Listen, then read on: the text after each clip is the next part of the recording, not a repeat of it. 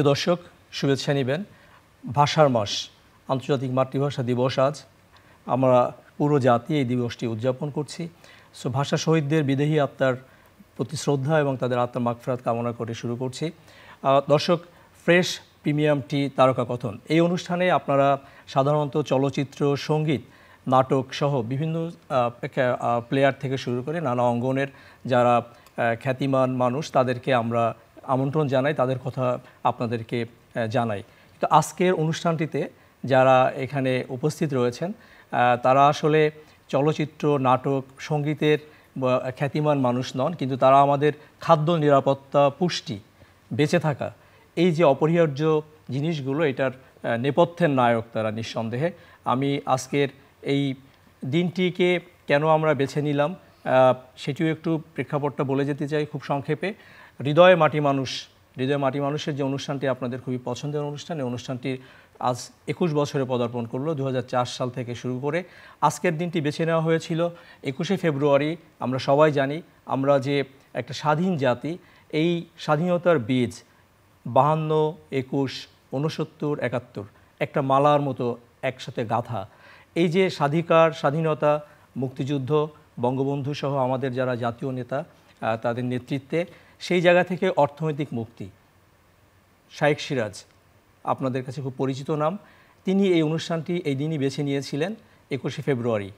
আমরা আজ একুশে ফেব্রুয়ারিতে আমাদের স্টুডিওতে আপনাদের সঙ্গে কথা বলব। প্রায় এক ঘণ্টার প্রোগ্রামটি, আপনারা আমাদের সঙ্গে থাকবেন। আমি শুরুতে পরিচয় করিয়ে দিতে চাই। বাংলাদেশ ব্যাংকের সাবেক গভর্নর ডক্টর আতিউর রহমান আমার ঠিক ডানেই আছেন। Bangabandhu chair professor Dhaka university professor emeritus আমার ঠিক আহ, আতিউর রহমান স্যারের পরে আছেন জনাব শাইখ সিরাজ। আপনারা সবাই জানেন আমি তার কোনো পরিচয় দিতে চাই না। কৃষি উন্নয়ন গণমাধ্যম ব্যক্তিত্ব প্রায় চার দশকের বেশি সময় উন্নয়ন সাংবাদিকতা করে যাচ্ছেন তিনি। তারপর আছেন যারা সত্যিকারের নায়ক নুরুন্নাহার আপা একজন সফল কৃষি উদ্যোক্তা। তার ঠিক পরেই আছেন আমাদের কক্সবাজারের রহিমউল্লাহ আহ, তারপরে আছেন আমাদের আবুল কালাম আজাদ কৃষি উদ্যোক্তা নওগাঁর সাপাহারের। আজাদ সাহেবের ঠিক পরেই আছেন মফিজুর রহমান, কৃষি উদ্যোক্তা ফরিদপুর, আর তারপরে আছেন ফেরদৌস মুরাদ উনি একজন মৎস্য চাষী উদ্যোক্তা নাটোরের আর আমাদের সর্বশেষ অতিথি শরীফ আজিজ, সাত কৃষি নিয়ে আমরা যে শাইখ সিরাজ যে সাত কৃষি যে একটা আন্দোলন হতে পারে, সামাজিক আন্দোলন, সেখানে আপনারা এই পতাকা বহন করে যাচ্ছেন। দর্শক, আমি শুরু করতে চাই ডক্টর আতিউর রহমানকে দিয়ে। আপনারা জানেন যে মানবিক গভর্নর প্রান্তজনের অর্থনীতিবিদ। এই পরিচয়গুলো ডক্টর আতিউর রহমানের নামের সঙ্গে জড়িয়ে গেছে। ডক্টর আতিউর রহমান, আপনি এই যে কৃষি বাজেট, কৃষকের বাজেট, এই নির্মাণ থেকে শুরু করে নানাভাবে চ্যানেল আইয়ের প্রোগ্রামের সঙ্গে আপনি জড়িত জড়িত ছিলেন। পেছনে থেকে আমাদেরকে উৎসাহিত করেছেন, প্রেরণা দিচ্ছেন, পরামর্শ দিচ্ছেন। আপনার কাছে জানতে চাই, এই অনুষ্ঠানটির সঙ্গে একুশে ফেব্রুয়ারির যোগাযোগটা নিয়ে। প্রথমেই গভীর শ্রদ্ধা জানাই ভাষা শহীদদের শ্রদ্ধা জানাই।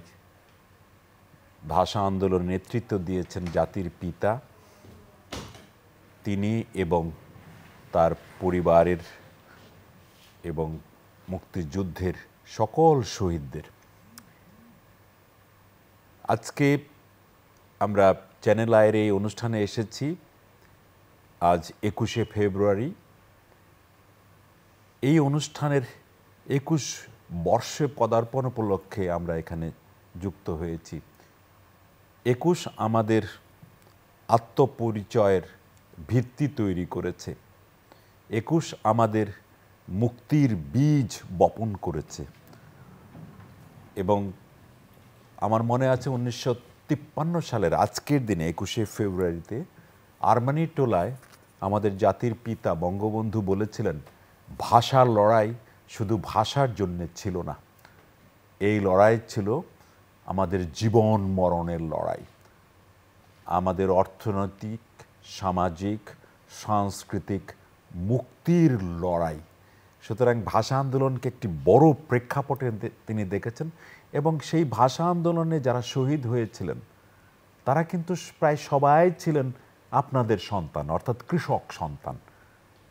যারা মুক্তিযুদ্ধ করেছেন, তাদের বেশিরভাগই ছিলেন কৃষক সন্তান। সুতরাং সেই কৃষকদের আজকে আমরা তারকার মতো করে দেখছি।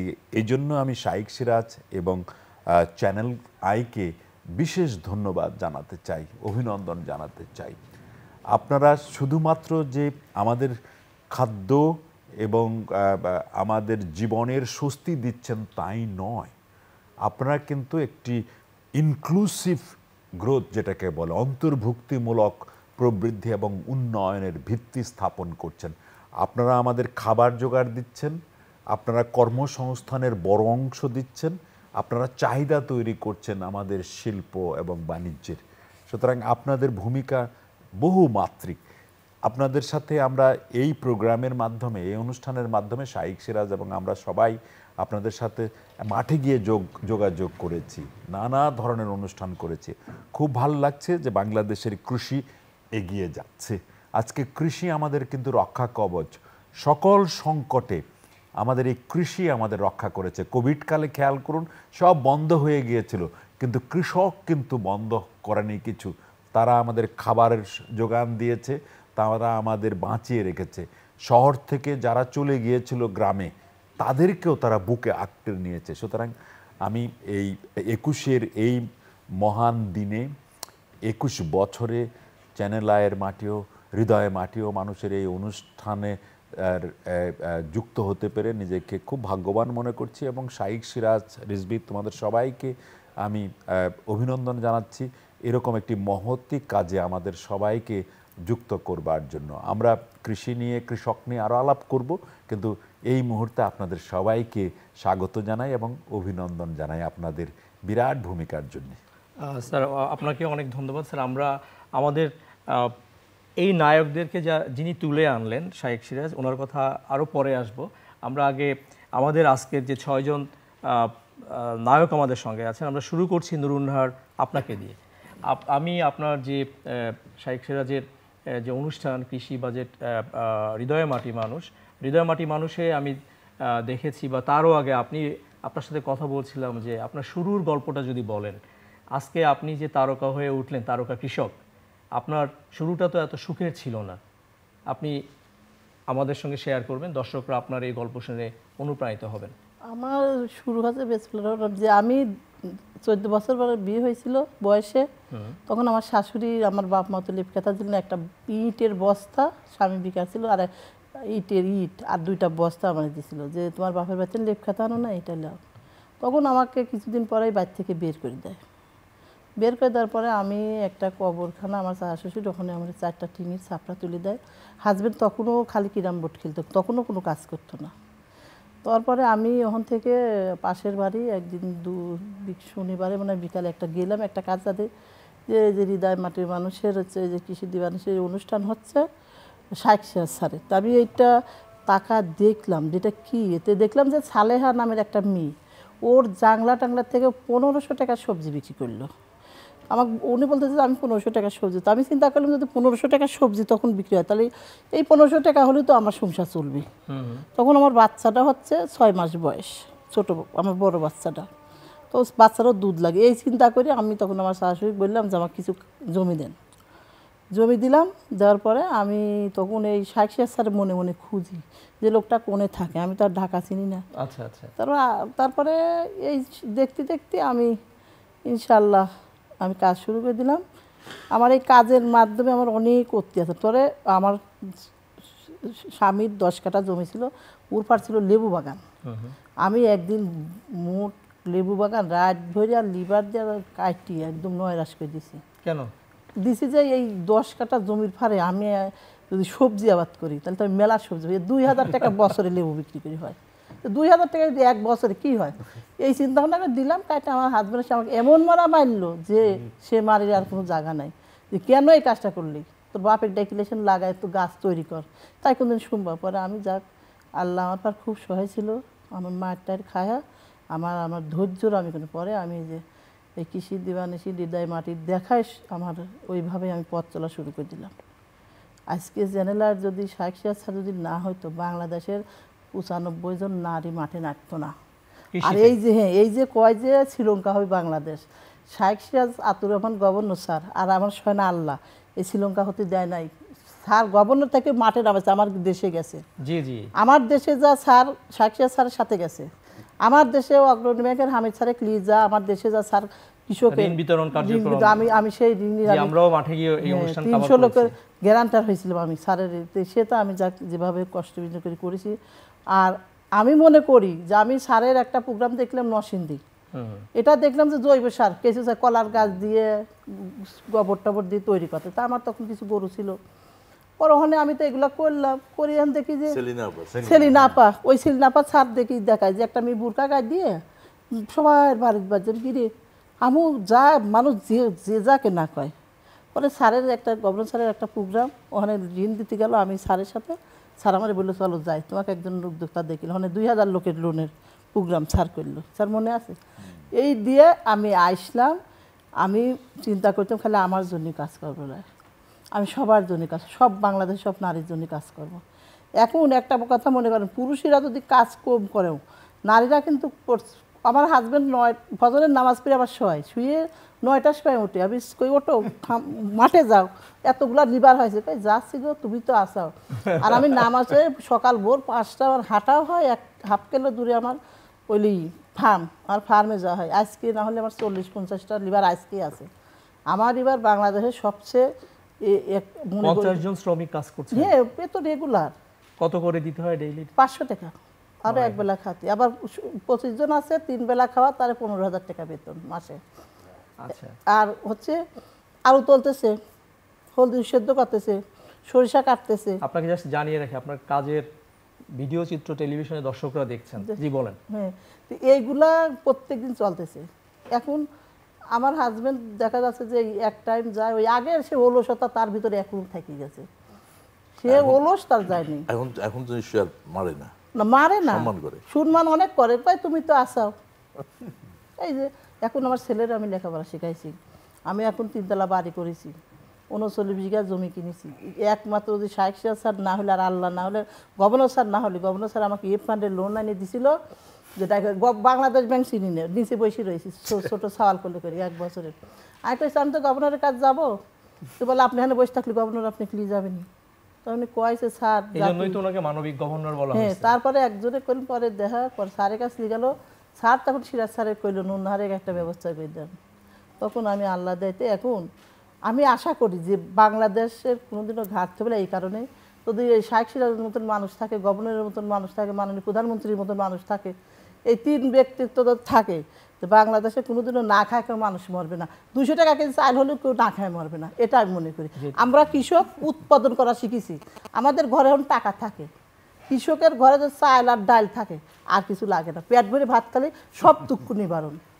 আপনার আপনার সাফল্যের কথা আমরা আরও আরও শুনব। এবার আমরা আমাদের আরেকজন তারকা কৃষক রহিমুল্লাহ। রহিমুল্লাহ আপনার যে গল্পটা আমরা হৃদয় মাটি মানুষের প্রোগ্রামে দেখেছি যে আপনি বিদেশে থাকতেন সৌদি আরবে ছিলেন। তারপর একটা ফার্ম করলেন কয়েকজন মিলে। এরপর আপনার যে প্রাথমিক যে বিনিয়োগ আমি যদি ভুল না হয় প্রায় চল্লিশ লাখ টাকা পঞ্চাশ লাখ টাকা। সেই টাকা সব নষ্ট হয়ে গেল খামার। তারপর আবার আপনি ঘুরে দাঁড়ালেন এই এই ঘুরে দাঁড়ানোর গল্পটা আপনি দর্শকদের সঙ্গে শেয়ার করবেন মূলত আমি খুব ছোটোবেলা থেকে শেখ সিরাজ স্যারের অনুষ্ঠানগুলো দেখতাম। উনি একটা চশমা পরতো একটা কালারের গেঞ্জি পরতো একটা কলম থাকতো পকেটে উনি ফেফে বাগান বিভিন্ন বাগানে যেত। জি জি। আমি একটা ফেবে বাগানের নিচে থেকে উপর পর্যন্ত ফেবে দেখে আমার আব্বুর সাথে বাজারে এসে আমার সাত আট বছর বয়স ওই সময় আব্বুকে বললাম যে আমাকে কিছু ফেফের সারা কিনে দাও। তো দিছে আমাকে। আমি ওইগুলা একটু ফাঁসে ফাঁসে করে লাগাইছি। তো আম্মু বলতেছে, এগুলো আব্বু ওইভাবে না আরও দূরত্বে লাগাতে হয়। তো আমাদের একটা খাসারি ঘর ছিল, আমরা যেখানে লেখাপড়া করতাম, ম্যাম বসতো, ওইখানে আম্মু চতুর্পাশে লাগাই দিছে। এই যে স্যারকে অনুসরণ করি আর মনে করি যে কৃষি করব, বাপ। বিদেশ গেলাম, আলহামদুলিল্লাহ প্রচুর টাকা ইনকাম করছি, প্রচুর পরিশ্রম করছি। কিন্তু হঠাৎ দেখতেছি চ্যানেল আইতে একটা হেডলাইন আসলো যে হৃদয়ে মাটিও মানুষ আগের মাটিও মানুষের পরিবর্তে একটা হৃদয়ে মাটিও মানুষ। অনুষ্ঠান হবে বিভিন্ন জনের কাছ থেকে মতামত নিচ্ছে কি হবে। তখন আমি ওইখানে দাঁড়িয়ে বলতেছি স্যার সেলুট আপনাকে আসেন। তো ওইখানে দেখতাম বিভিন্ন গরু ছাগলের কামার বিভিন্ন ফলেজের কামার হঠাৎ দেখি যে সিদ্দিকুর রহমান মহেশ নামের পাবনা একজন বাউকুলের বাগান করছে। উনি প্রায় চল্লিশ লক্ষ না কত টাকার একটা টার্গেট ছিল, উনি এক কোটি বিশ লক্ষ টাকার কুল বিক্রি করছে। ওটা দেখে আমি বিদেশ থেকে আসলাম, প্রায় বায়ান্ন লক্ষ টাকা কাছাকাছি আমার সৈন্য অর্থ ছিল। এসে আমি একটা বড়, প্রায় একত্রিশখানি একটা জায়গা নিলাম। আমার তিন বন্ধু, আমার সাথে এট হলো টুটুল, এনাম, শাহাবুদ্দিন। এদেরকে নিয়ে সম্মিলিতভাবে করলাম। করতে গিয়ে আমরা তো নতুন, আমরা তো কোনো কোনোদিন কৃষি কাজ করি নাই, জানিও না। তখন নতুন করতে গিয়ে আমিও আর দেশে থাকি না, আমি বিদেশে চলে যাই ওনাদেরকে দিয়ে দিছি। এইভাবে করতে গিয়ে আমাদের বিশাল একটা লস হয়ে যায়। দুই, তিন বছর কোনো ফলন পায় না কর্মচারীর বেতন। আদার্স মিলিয়ে প্রায় সাতত্রিশ লক্ষ টাকা আমার লস হয়ে যায়। তো এরপর দেশে আসলাম, স্যারের কাছে আসলাম, স্যারকে বললাম, স্যার গেল। গিয়ে স্যার আমাকে বলল কোন যে স্যার? তু- শাহেক সিরাজ স্যার। আচ্ছা আচ্ছা শাহেক সিরাজ স্যারকে বললাম শাহেক সিরাজ স্যার গেল। যাওয়ার পর স্যার বলল যে তোমাকে এখন তুমি কি করতে চাও? আমি বললাম যে স্যার আমি আর বিদেশ যাব না। সম্ভবত পনেরো সালের জানুয়ারির আঠারো তারিখ আমার ফ্লাইট ছিল। স্যার জানুয়ারির পনেরো তারিখ আমার ওইখানে গেছিল মনে হয় পনেরো সালের। তো আমি আর যাই নাই বিদেশ। দেশে থেকে গেছি। তো বলতেছে তোমার তো অর্থ নেই তুমি কীভাবে থাকবা? আমি বললাম জানি না স্যার তবে আমি এই মাটি ছেড়ে আমি সব ছেড়ে দিতে পারি, বাগান ছেড়ে দেব, ওইটা আসলে আমার চোখ থেকে পানি চলে আসে। আমি বাগান চড়তে পারব না, এটা আমার স্বপ্ন আসা তারপরে থেকে গেছি, স্যার আমাকে বলল যে টেলিফোন করে একটা যে, রহিম, তুমি এখানে আসো। আমি আসলাম। তোমার কত টাকা লাগবে? আমি বললাম, সাত, আট লাখ টাকা লাগবে। বলল যে, ঠিক আছে, আমি তোমাকে ক্রমাগতভাবে টাকা দেবো তুমি যখন থেকে গেছো তুমি বাগানটা চালিয়ে নিয়ে যাও। এই যে স্যারে একটা পিছন থেকে যে একটা সাপোর্টিং দিল আলহামদুলিল্লাহ ওই সাপোর্টিং নিয়ে আমি ওই বছর প্রায় সাতাইশ লাখ টাকার বড়ে বিক্রি করি। আচ্ছা। আমি মোটামুটি দাঁড়া যাই। আপনি কি টাকাটা ফেরত দিচ্ছেন? আমি ওই- টাকাটা পুরা বিক্রি করে বলি যখনই স্যারের সাড়ে সাত লক্ষ টাকা হয়েছে হ্যাঁ, হ্যাঁ। তখনই টাকা শুদ্ধ স্যারের কাছে চলে আসছে স্যার আপনার টাকাটা নেন। স্যার আমার থেকে চাইলে একটা চেক নিতে পারতো একটা স্ট্যাম্প একটা কাগজ কিছু নিতে পারতো। নেন কিছুই নাই নাই। নেন বিশ্বাস। বিশ্বাস। আমি শুধু অপেক্ষা করছিলাম টাকা পাস করতেছিলাম কখন আমার সাড়ে সাত লক্ষ টাকা হবে স্যারের টাকাটা দিয়ে দেবো। আপ রহিমুল্লাহ আপনি যখন কথা বলছেন আপনার সেই সময়ের শাইখ সিরাজ আপনাকে যে প্রতিবেদন করেছিল সেই ফুটেজটা দর্শকরা দেখতে পাচ্ছে। জি আপনার কথা আমরা শুনছি। আমার আমার এখনও তো আমার ওই আবেগটা রেখেছে ওই সাপোর্টিংটা দিয়ে আলহামদুলিল্লাহ আমি দাঁড়াই। দাঁড়ানোর পর আজকে আমি একটা কীটনাশকের দোকানের মালিক। আমি প্রায় আমার পৈতৃক সম্পত্তি সহ প্রায় আঠারো বিশ কানি ধান চাষ করি। আমার একত্রিশ কানি বাগানও আছে। ওটা করতে আলহামদুলিল্লাহ আজকে আমি বউ বাচ্চা নিয়ে মোটামুটি সুখে আছি। একটা কথা ডক্টর আতিক রহমান স্যার বলল যে করোনার কাল। আমরা কৃষকেরা কাজ করতে যে আমার মাঠে প্রায় দশ পনেরো বিশ জন কাজ করে। করোনার সময় সব কাজ বন্ধ। আমার কাছে একটা কর্মচারী এসে বলতেছে, ভাই, আমার বাচ্চাকে ডাক্তার দেখাতে হবে, অসুস্থ, আমার টাকা নেই, আমার অন্তত পাঁচশো টাকা লাগবে। তো তখন তো কাজ বন্ধ। আমি একে এক হাজার টাকার একটা নোট দিলাম যেন আমি ছাড়া আর কেউ না জানে। ভাই, দিয়ে দিলাম যে, যা, এটা নিয়ে সারা। তখন এর না গিয়ে বলতেছে, আপনি তো আমার বাচ্চার ইয়ে দিলেন, চিকিৎসার জন্য দিলেন। আমি যে রাত্রে ভাত খাব ওইটা কোথা থেকে খাব। সকালে ভাত খাব ওইটা কোথা থেকে খাব কোথাও কোনো কাজ নেই। আমি অনেকক্ষণ বসে থাকলাম। বসে থাকার পরে বললাম যে কাজ চলবে। ফেসবুকে কেন যেন আবেগে লিখলাম। যে কাজ চলবে। হ্যাঁ। প্রায় এদেরকে বলছে যতজন উপাস থাকবি যতজনের কাজ নেই ততজন আমার বাগানে কাজ করবি ততজনের বেতনে আমি চালাবো ইনশাল্লাহ প্রায় চল্লিশ পঞ্চাশ জন লোক বাগানে কাজ করালাম। আলহামদুলিল্লাহ। এরপর থেকে আল্লাহ পাক আমাকে দিচ্ছে যে কোনোভাবে আমি চলতেছি ওরাও সন্তুষ্ট। আলহামদুলিল্লাহ আজ পর্যন্ত ভালো আছি। আমার আপনার আপনার চোখে পানি দেখতেছি। এই এই চোখে পানি আসলো কেন? ওটা হচ্ছে মানুষ যখন অর্থনৈতিকভাবে ব্যঙ্গে করা যায় এই দেশে ওকে খুশি হয় মানুষ। করছিল। যেমন আমাকে পাগল বলতো যখন প্রথমে বড় বাগান করছি। হ্যাঁ, সুজা আমি একটা থ্রি কোয়ার্টার প্যান্ট পরতাম একটা গেঞ্জি পরতাম মোটরসাইকেল নিয়ে বাগানে যেতাম আসতাম। বলল যে এ পাগল সৌদি আরব গেছে টাকা কামাইছে এখানে বড় গাছ লাগাবে বড় ধরবে বেচবে। এই পাগল সত্যি পাগল টাকা পয়সা পাইনি দুই তিন বছর লস এখন?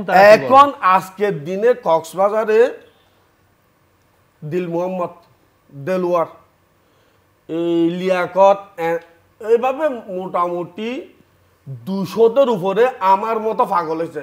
এক একজন পাগলের কাছে অন্তত বিশ জন পঁচিশ জন দশ জন করে কর্মচারী আছে। দুই মানে ধরেন দুই হাজার খানি কাছাকাছি ফলজ বাগান হয়ে গেছে। তো এখন আর আমি একজন পাগল না দুই আড়াইশো পাগল হয়ে গেছে। এরকম আরও বেশি পাগল দরকার আমাদের। আমাদের প্রচুর আমার মতো পাগল দরকার। লস হবে লাভ হবে ওটা রব্বুল ইজ্জত যেভাবে হবে। আচ্ছা রহিমুল্লাহ আপনাকে বাংলাদেশের একজন সাবেক মহামান্য রাষ্ট্রপতি চিঠি লিখেছিলেন। জি। কি বিষয়ে কেন লিখেছিলেন? উনি আমি আলহামদুলিল্লাহ আমার কুলগুলা আমি সব জায়গায় পাঠিয়েছি সবাই খেয়েছে। একদিন হঠাৎ আমি স্যারকে বললাম যে স্যার বাংলাদেশের সবাই তো আমার কুল গেল। দুইটা মানুষকে আমি কুল কামাইতে পারিনি। একটা হচ্ছে রাষ্ট্রপতি আর একটা হচ্ছে প্রধানমন্ত্রী। তো স্যার শেখ সিরাজ স্যার বলতেছে যে তুমি কুলগুলা পাঠাও দেখি কি করা যায়। আচ্ছা। তো পরে স্যারকে পাঠালাম। পাঠানোর পর স্যার কুলগুলার মহামান্য রাষ্ট্রপতিকে দিল। রাষ্ট্রপতিকে আমার জন্য একটা চিঠি লিখছে স্যারের মাধ্যমে। ওই চিঠিটা আমি জানতাম না। হঠাৎ ওই অনুষ্ঠানে যখন স্যার বলল যে আমার জন্য একটা রাষ্ট্রপতি চিঠি দিছে তখন আমি মোটামুটি আমার মতো বড় আর ওই- আজ পর্যন্ত আমার জীবনের সবচেয়ে বড় অর্জনটা হচ্ছে এটা। আপনার যে রাষ্ট্রপতি চিঠি দিয়েছিল সেটি আমরা দেখাচ্ছি। জি বলুন। ওটাই হচ্ছে আমার সবচেয়ে বড় অর্জন যে এই দেশের একজন কৃষককে মহামান্য রাষ্ট্রপতি চিঠি দিয়ে বলল যে রহিমুল্লাহ তোমাকে ধন্যবাদ। তোমার কর্মকাণ্ডে সন্তুষ্টি প্রকাশ করে যেভাবে আমাকে এটা কি কৃষি বাজেট কৃষকের বাজেট অনুষ্ঠানে দেখা ওটাতে মহামান্য মাননীয় মন্ত্রী জুনায়দ আহমদ পলক স্যার ছিল আমাদের কম এমপি কমল সাহেব ছিল কোক চেয়ারম্যান আমার বড় ভাই লেফটেন্যান্ট কর্নেল ফুরকান আহমদ ছিল শেখ সিরাজ স্যার ছিল এবং আমার অঞ্চলের ওই জিনিসটা আরেকটা স্যার এইরকম অনুষ্ঠানগুলা আমাদের ওইদিকে তেমন বেশি হয় না। কৃষকদেরকে জড়ো করে কৃষকের ওইটা ওই অনুষ্ঠান থেকেই আলহামদুলিল্লাহ বেশি ওই কৃষিগুলা ইয়ে হচ্ছে। কৃষির প্রতি ইয়ং যারা জীবনে কৃষিতে যায় নাই ঘাটে যায় নাই মাঠে যায় নাই তারা। বিভিন্ন শিক্ষিত লোক বেকার যারা তারা অল্প অর্থ দিয়ে ওই কৃষিতে নেমে যাচ্ছে এখন। জি রহিমুল্লাহ আপনার কাছে আবার আসব। আমি আপনি বলছিলেন যে আজ আপনার এলাকায় তামাক চাষ বন্ধ হয়ে গেছে। ডক্টর আতিউর রহমান তামাক বিরোধী আন্দোলন করে আমরা আসব। আমরা এবার একটু আরেকজন আমাদের নায়ক আবুল কালাম আজাদ। আপনার গল্প জানতে চাই। আপনি একজন প্রকৌশলী। আপনি রাজশাহী বিআইটি এখন রুয়েট বলি আমরা যেটাকে Rajshahi university of engineering tech এইখান থেকে আপনি স্নাতক করলেন তারপর আপনি একজন কৃষি উদ্যোক্তা হলেন। এই আপনার যে রূপান্তর কীভাবে ঘটলো এটা? সম্ভব হলো কীভাবে? আসলে আমার বাড়ি হলো নওগাঁ জেলার সাপাহারে। আমার বাবা একজন মাধ্যমিক বিদ্যালয়ের প্রধান শিক্ষক ছিলেন। জি। তো উনি আসলে চাইতেন যে আমি আসলে লেখাপড়া করে ডাক্তার বা ইঞ্জিনিয়ার যে কোনো একটা হইতে হবে এর বাইরে কিছু পড়া যাবে না। তো আমি ওনার নির্দেশ অনুযায়ী পড়াশোনা করতে থাকি। এরপরে ইঞ্জিনিয়ারিং চান্স পেলাম পড়াশোনাও শেষ করলাম। তা আসলে ওনার চাহিদা ছিল যে চাকরি করতে হবে। তা আমি সেই অনুযায়ী চাকরি শুরু করলাম, পাশ করার পরে ইঞ্জিনিয়ারিং পাশ করার পরে চাকরি শুরু করলাম। কিন্তু আমার নিজের ভিতরে সবসময় একটা জিনিস কাজ করতো, আসলে নিজে কিছু একটা করতে হবে। তো যেহেতু পেশায় ইঞ্জিনিয়ার তো এই ইঞ্জিনিয়ারিং সেক্টরেই কিছু করার চিন্তা ভাবনা ছিল। তো বেশ কয়েকবার চিন্তা ভাবনা করছিলাম যে পাওয়ার সেক্টরে নিজে একজন উদ্যোক্তা হওয়া যায় কিনা বা কোনো ব্যবসা করা যায় কিনা। তা আসলে দেখলাম যে এইখানে অনেক কম্পিটিশন এখানে অনেক লোকজন পাওয়ার সেক্টরে কাজ করতেছে। তো ওই সময় থেকেই আমি হৃদয়ে মাটিও মানুষের এই অনুষ্ঠানগুলো দেখতাম। মাঝে মাঝেই দেখতাম। কিন্তু আমার এইখানে যে টার্ন করার যে কোনো সুযোগ আছে, এইরকম আমার জানা ছিল না।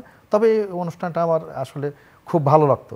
আমি যখন এই প্রতি সপ্তাহে যখন এই অনুষ্ঠানগুলো হয়, তখন আমি ওই ওই সময়টা ফ্রি করে টেলিভিশনে দেখতাম। এখন যেমন মোবাইলে দেখা যায় বা অন্যান্যভাবে দেখা যায়, তখন টেলিভিশন ছাড়া দেখা যেত না। এবং ওই নির্দিষ্ট সময়েই দেখতে হইতো। তা আমি আসলে ওইভাবেই এই প্রোগ্রামগুলো ধারাবাহিকভাবে দেখে আসছিলাম। এরপরে চাকরি করতে করতে হঠাৎ একদিন ওয়ার্ল্ড ব্যাংকের একটা প্রোগ্রামে আমি প্রজেক্ট ডাইরেক্টর হিসেবে একটা প্রতিবেদন পাঠ করতেছিলাম। ওইখানে পরিচয় হয় ডক্টর আসাদুজ্জামান। অর্থাৎ বরেন্দ্রের যে প্রথম নির্বাহী পরিচালক পরিচালক ছিলেন আর কি, বরেন্দ্রের প্রতিষ্ঠাতা নির্বাহী পরিচালক। তো উনি ওই প্রোগ্রাম শেষে আমাকে জিজ্ঞেস করল যে, তোমার বাড়ি কোথায়? তো আমি আমার বাড়ির কথা বললাম। তো আসলে বরেন্দ্র যখন প্রতিষ্ঠিত হয়, তখন তৎকালীন সময়ে উনি আমাদের এলাকায় গিয়েছেন, নওগাঁয়, বরেন্দ্র এলাকা, নওগাঁর আসে বরেন্দ্র এলাকায়। তো উনি ওই এলাকাগুলো সব চিনেন এমনকি উনি আমার বাবাকেও চিনেন, দাদাকেও চিনেন, এলাকাগুলো ওনার খুব পরিচিত। তো উনি আমাকে বলল যে, প্রোগ্রামের শেষে তুমি আমার সাথে একটু দেখা করো। তো আমি ওনার সাথে দেখা করলাম। উনি আমাকে একটা ভিজিটিং কার্ড দিলেন, বাসার অ্যাড্রেস দিলেন। তারপরে উনি বলল যে, তুমি আমার বাসায় আসো। পরে আমি আমার আসলে যাব যাব করে আসলে এটা হয়ে ওঠে নাই। তো একদিন উনি ফোন করলেন আমাকে যে, কই, তোমাকে আসতে বলছিলাম বাসায়, তুমি তো আসো নাই। তো আহ, আমেরিকান এম্বাসির পাশে ওনার বাসায় একদিন গেলাম ওনার সাথে কথা বলে গেলাম। তো উনি খোলামেলা অনেক গল্প করল। উনি আসলে দেশের এটা আমি কথা বলছি আপনার কৃষি কাজ নিয়ে জানতে চাই। জি। সবচেয়ে বড় ড্রাগন ফলের বাগান জি জি আমি আসছি। লাইট জি আমি এই বিষয়গুলো দর্শকের আসলে জানার জি আমি ওখানে আসছি। পরে উনি ওনার বাসায় গেলাম। উনি আসলে বললেন যে আসলে তুমি ইঞ্জিনিয়ার এই পাওয়ার সেক্টরে কাজ করতেছো এটা ঠিকই আছে। কিন্তু তো- তোমার যে বরেন্দ্র এলাকায় বাড়ি ওইখানে তো আসলে আমরা আমরা বরেন্দ্রের অনেক ফ্যাসিলিটি তৈরি করছি। রাস্তা তৈরি করছি বিদ্যুৎ দিয়েছি। তো তোমাদের যে এলাকায় এগ্রিকালচার সেক্টরে তুমি ওখানে কাজ করতে পারবা।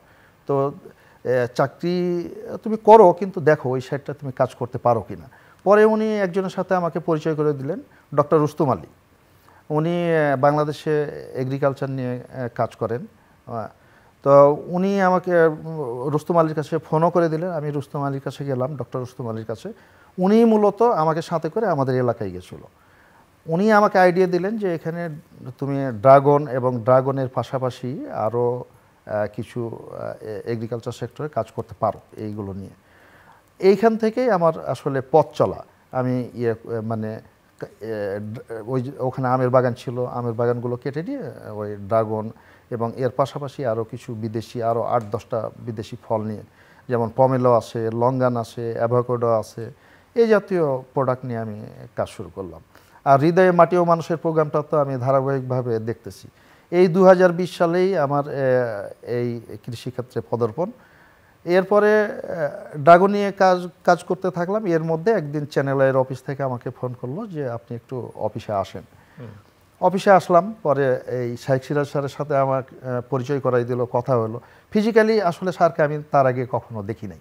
অনুষ্ঠান দেখেই চিনতেন। হ্যাঁ অনুষ্ঠান দেখেই চিনি কিন্তু স্যারের সাথে স্যারের কোনো ফোন নাম্বারও আমার কাছে ছিল না। ওনাকে আমি মানে ওনার প্রোগ্রাম যে আমি এক যুগ ধরে দেখতেছি কিন্তু ফিজিক্যালি ওনার সাথে আমার কখনো দেখা হয়নি। সেই দিন ওনার সাথে কথা বলে এত ভালো লাগল যে আসলে দূর থেকে দেখা আর কাছে থেকে দেখার মধ্যে অনেক মানে অনেক পার্থক্য। উনি আমি ওনার সামনে বসেছিলাম উনি চেয়ারটা পাশে নিয়ে আমাকে বসাইলেন। একেবারে মানে বাচ্চা ছেলের মতো আমার আমাকে আদর করে কথা বললেন কফি খাওয়ালেন। এরপরে বলল যে তোমার যে ড্রাগনের বাগান হ্যাঁ তো তুমি যে এই লাইটিং নিয়ে কাজ করতেছো একটা নতুন টেকনোলজি নিয়ে যে অফ সিজনে ড্রাগন চাষটা কীভাবে করা যায় তো এটা আসলে আমার এই এই বছরই প্রথম এই লাইটিং টেকনোলজি নিয়ে আমি কাজটা শুরু করি। দেশে যদিও এর আগে ক্ষুদ্র আকারে কিছু কাজ হয়েছে। দর্শক আপনারা দেখছেন আমাদের যে তারকা কৃষক তার বাগানটি। জি আপনি বলুন। জি এরপরে স্যার বলল যে ঠিক আছে আমরা একটা প্রোগ্রাম করতে চাই তোমাকে ডেটটা জানানো হবে। পরে স্যার একটা ডেট দিলেন ওই বাগানে ওই সময়ে আমার নওগাঁ সাপাহারে ওই বাগানে আসলেন। এটা ওই তৎকালীন এই এই এই গত বছর, অক্টোবর মাসে আর কি। তো স্যার ওই লাইটিংগুলো দেখলেন, দেখার পরে স্যার এতটাই ইমপ্রেসড হয়েছেন এই লাইটিংয়ের আমার এই টেকনোলজিটা দেখে। আর এই এই টেকনোলজিটা আমার এই লাইটিং টেকনোলজিটা আমাদের দেশে এটা সবচেয়ে বড় বাগানের লাইটিংয়ের বাগান। এখন এই আমাদের দেশে যদিও নভেম্বর, মে থেকে নভেম্বর মাস পর্যন্ত সিজন ড্রাগনের সিজন কিন্তু আমরা লাইটিং করার ফলে আমাদের সারা বছর অর্থাৎ এই নভেম্বরের পর থেকে এখন পর্যন্ত ড্রাগন প্রতিদিনই ড্রাগন ফল উৎপাদন হচ্ছে আমি একটু জানতে চাই আপনি যেরকম চ্যানেল আয়ে হৃদয় মাটি মানুষ শেখ সিরাজের প্রোগ্রাম দেখুন অনুপ্রাণিত হলেন আপনাকে দেখে এখন আপনার এলাকায় বা বাংলাদেশের অন্য কোনো জেলা থেকে কেউ কি যোগাযোগ করে যারা ইন্সপায়ার্ড হয়েছে আপনাকে জি দেখে? এই চ্যানেলের এই প্রোগ্রাম দেখে সারা দেশ দেশ থেকে যারা ড্রাগনের চাষ করে আসলে ড্রাগনের চাষ করে কি পরিমাণ লোক চাষ করে এটা আসলে সঠিক পরিসংখ্যান আমার কাছে নাই। তবে আমার মনে হচ্ছে যে বাংলাদেশের সব জেলা থেকেই মানে লোকজন আমার সাথে যোগাযোগ করেছে এবং একশোরও বেশি হবে ড্রাগন চাষি। অর্থাৎ একজন ড্রাগন বাগানের মালিক এইরকম একশো জনেরও বেশি আমার বাগানে আসছে।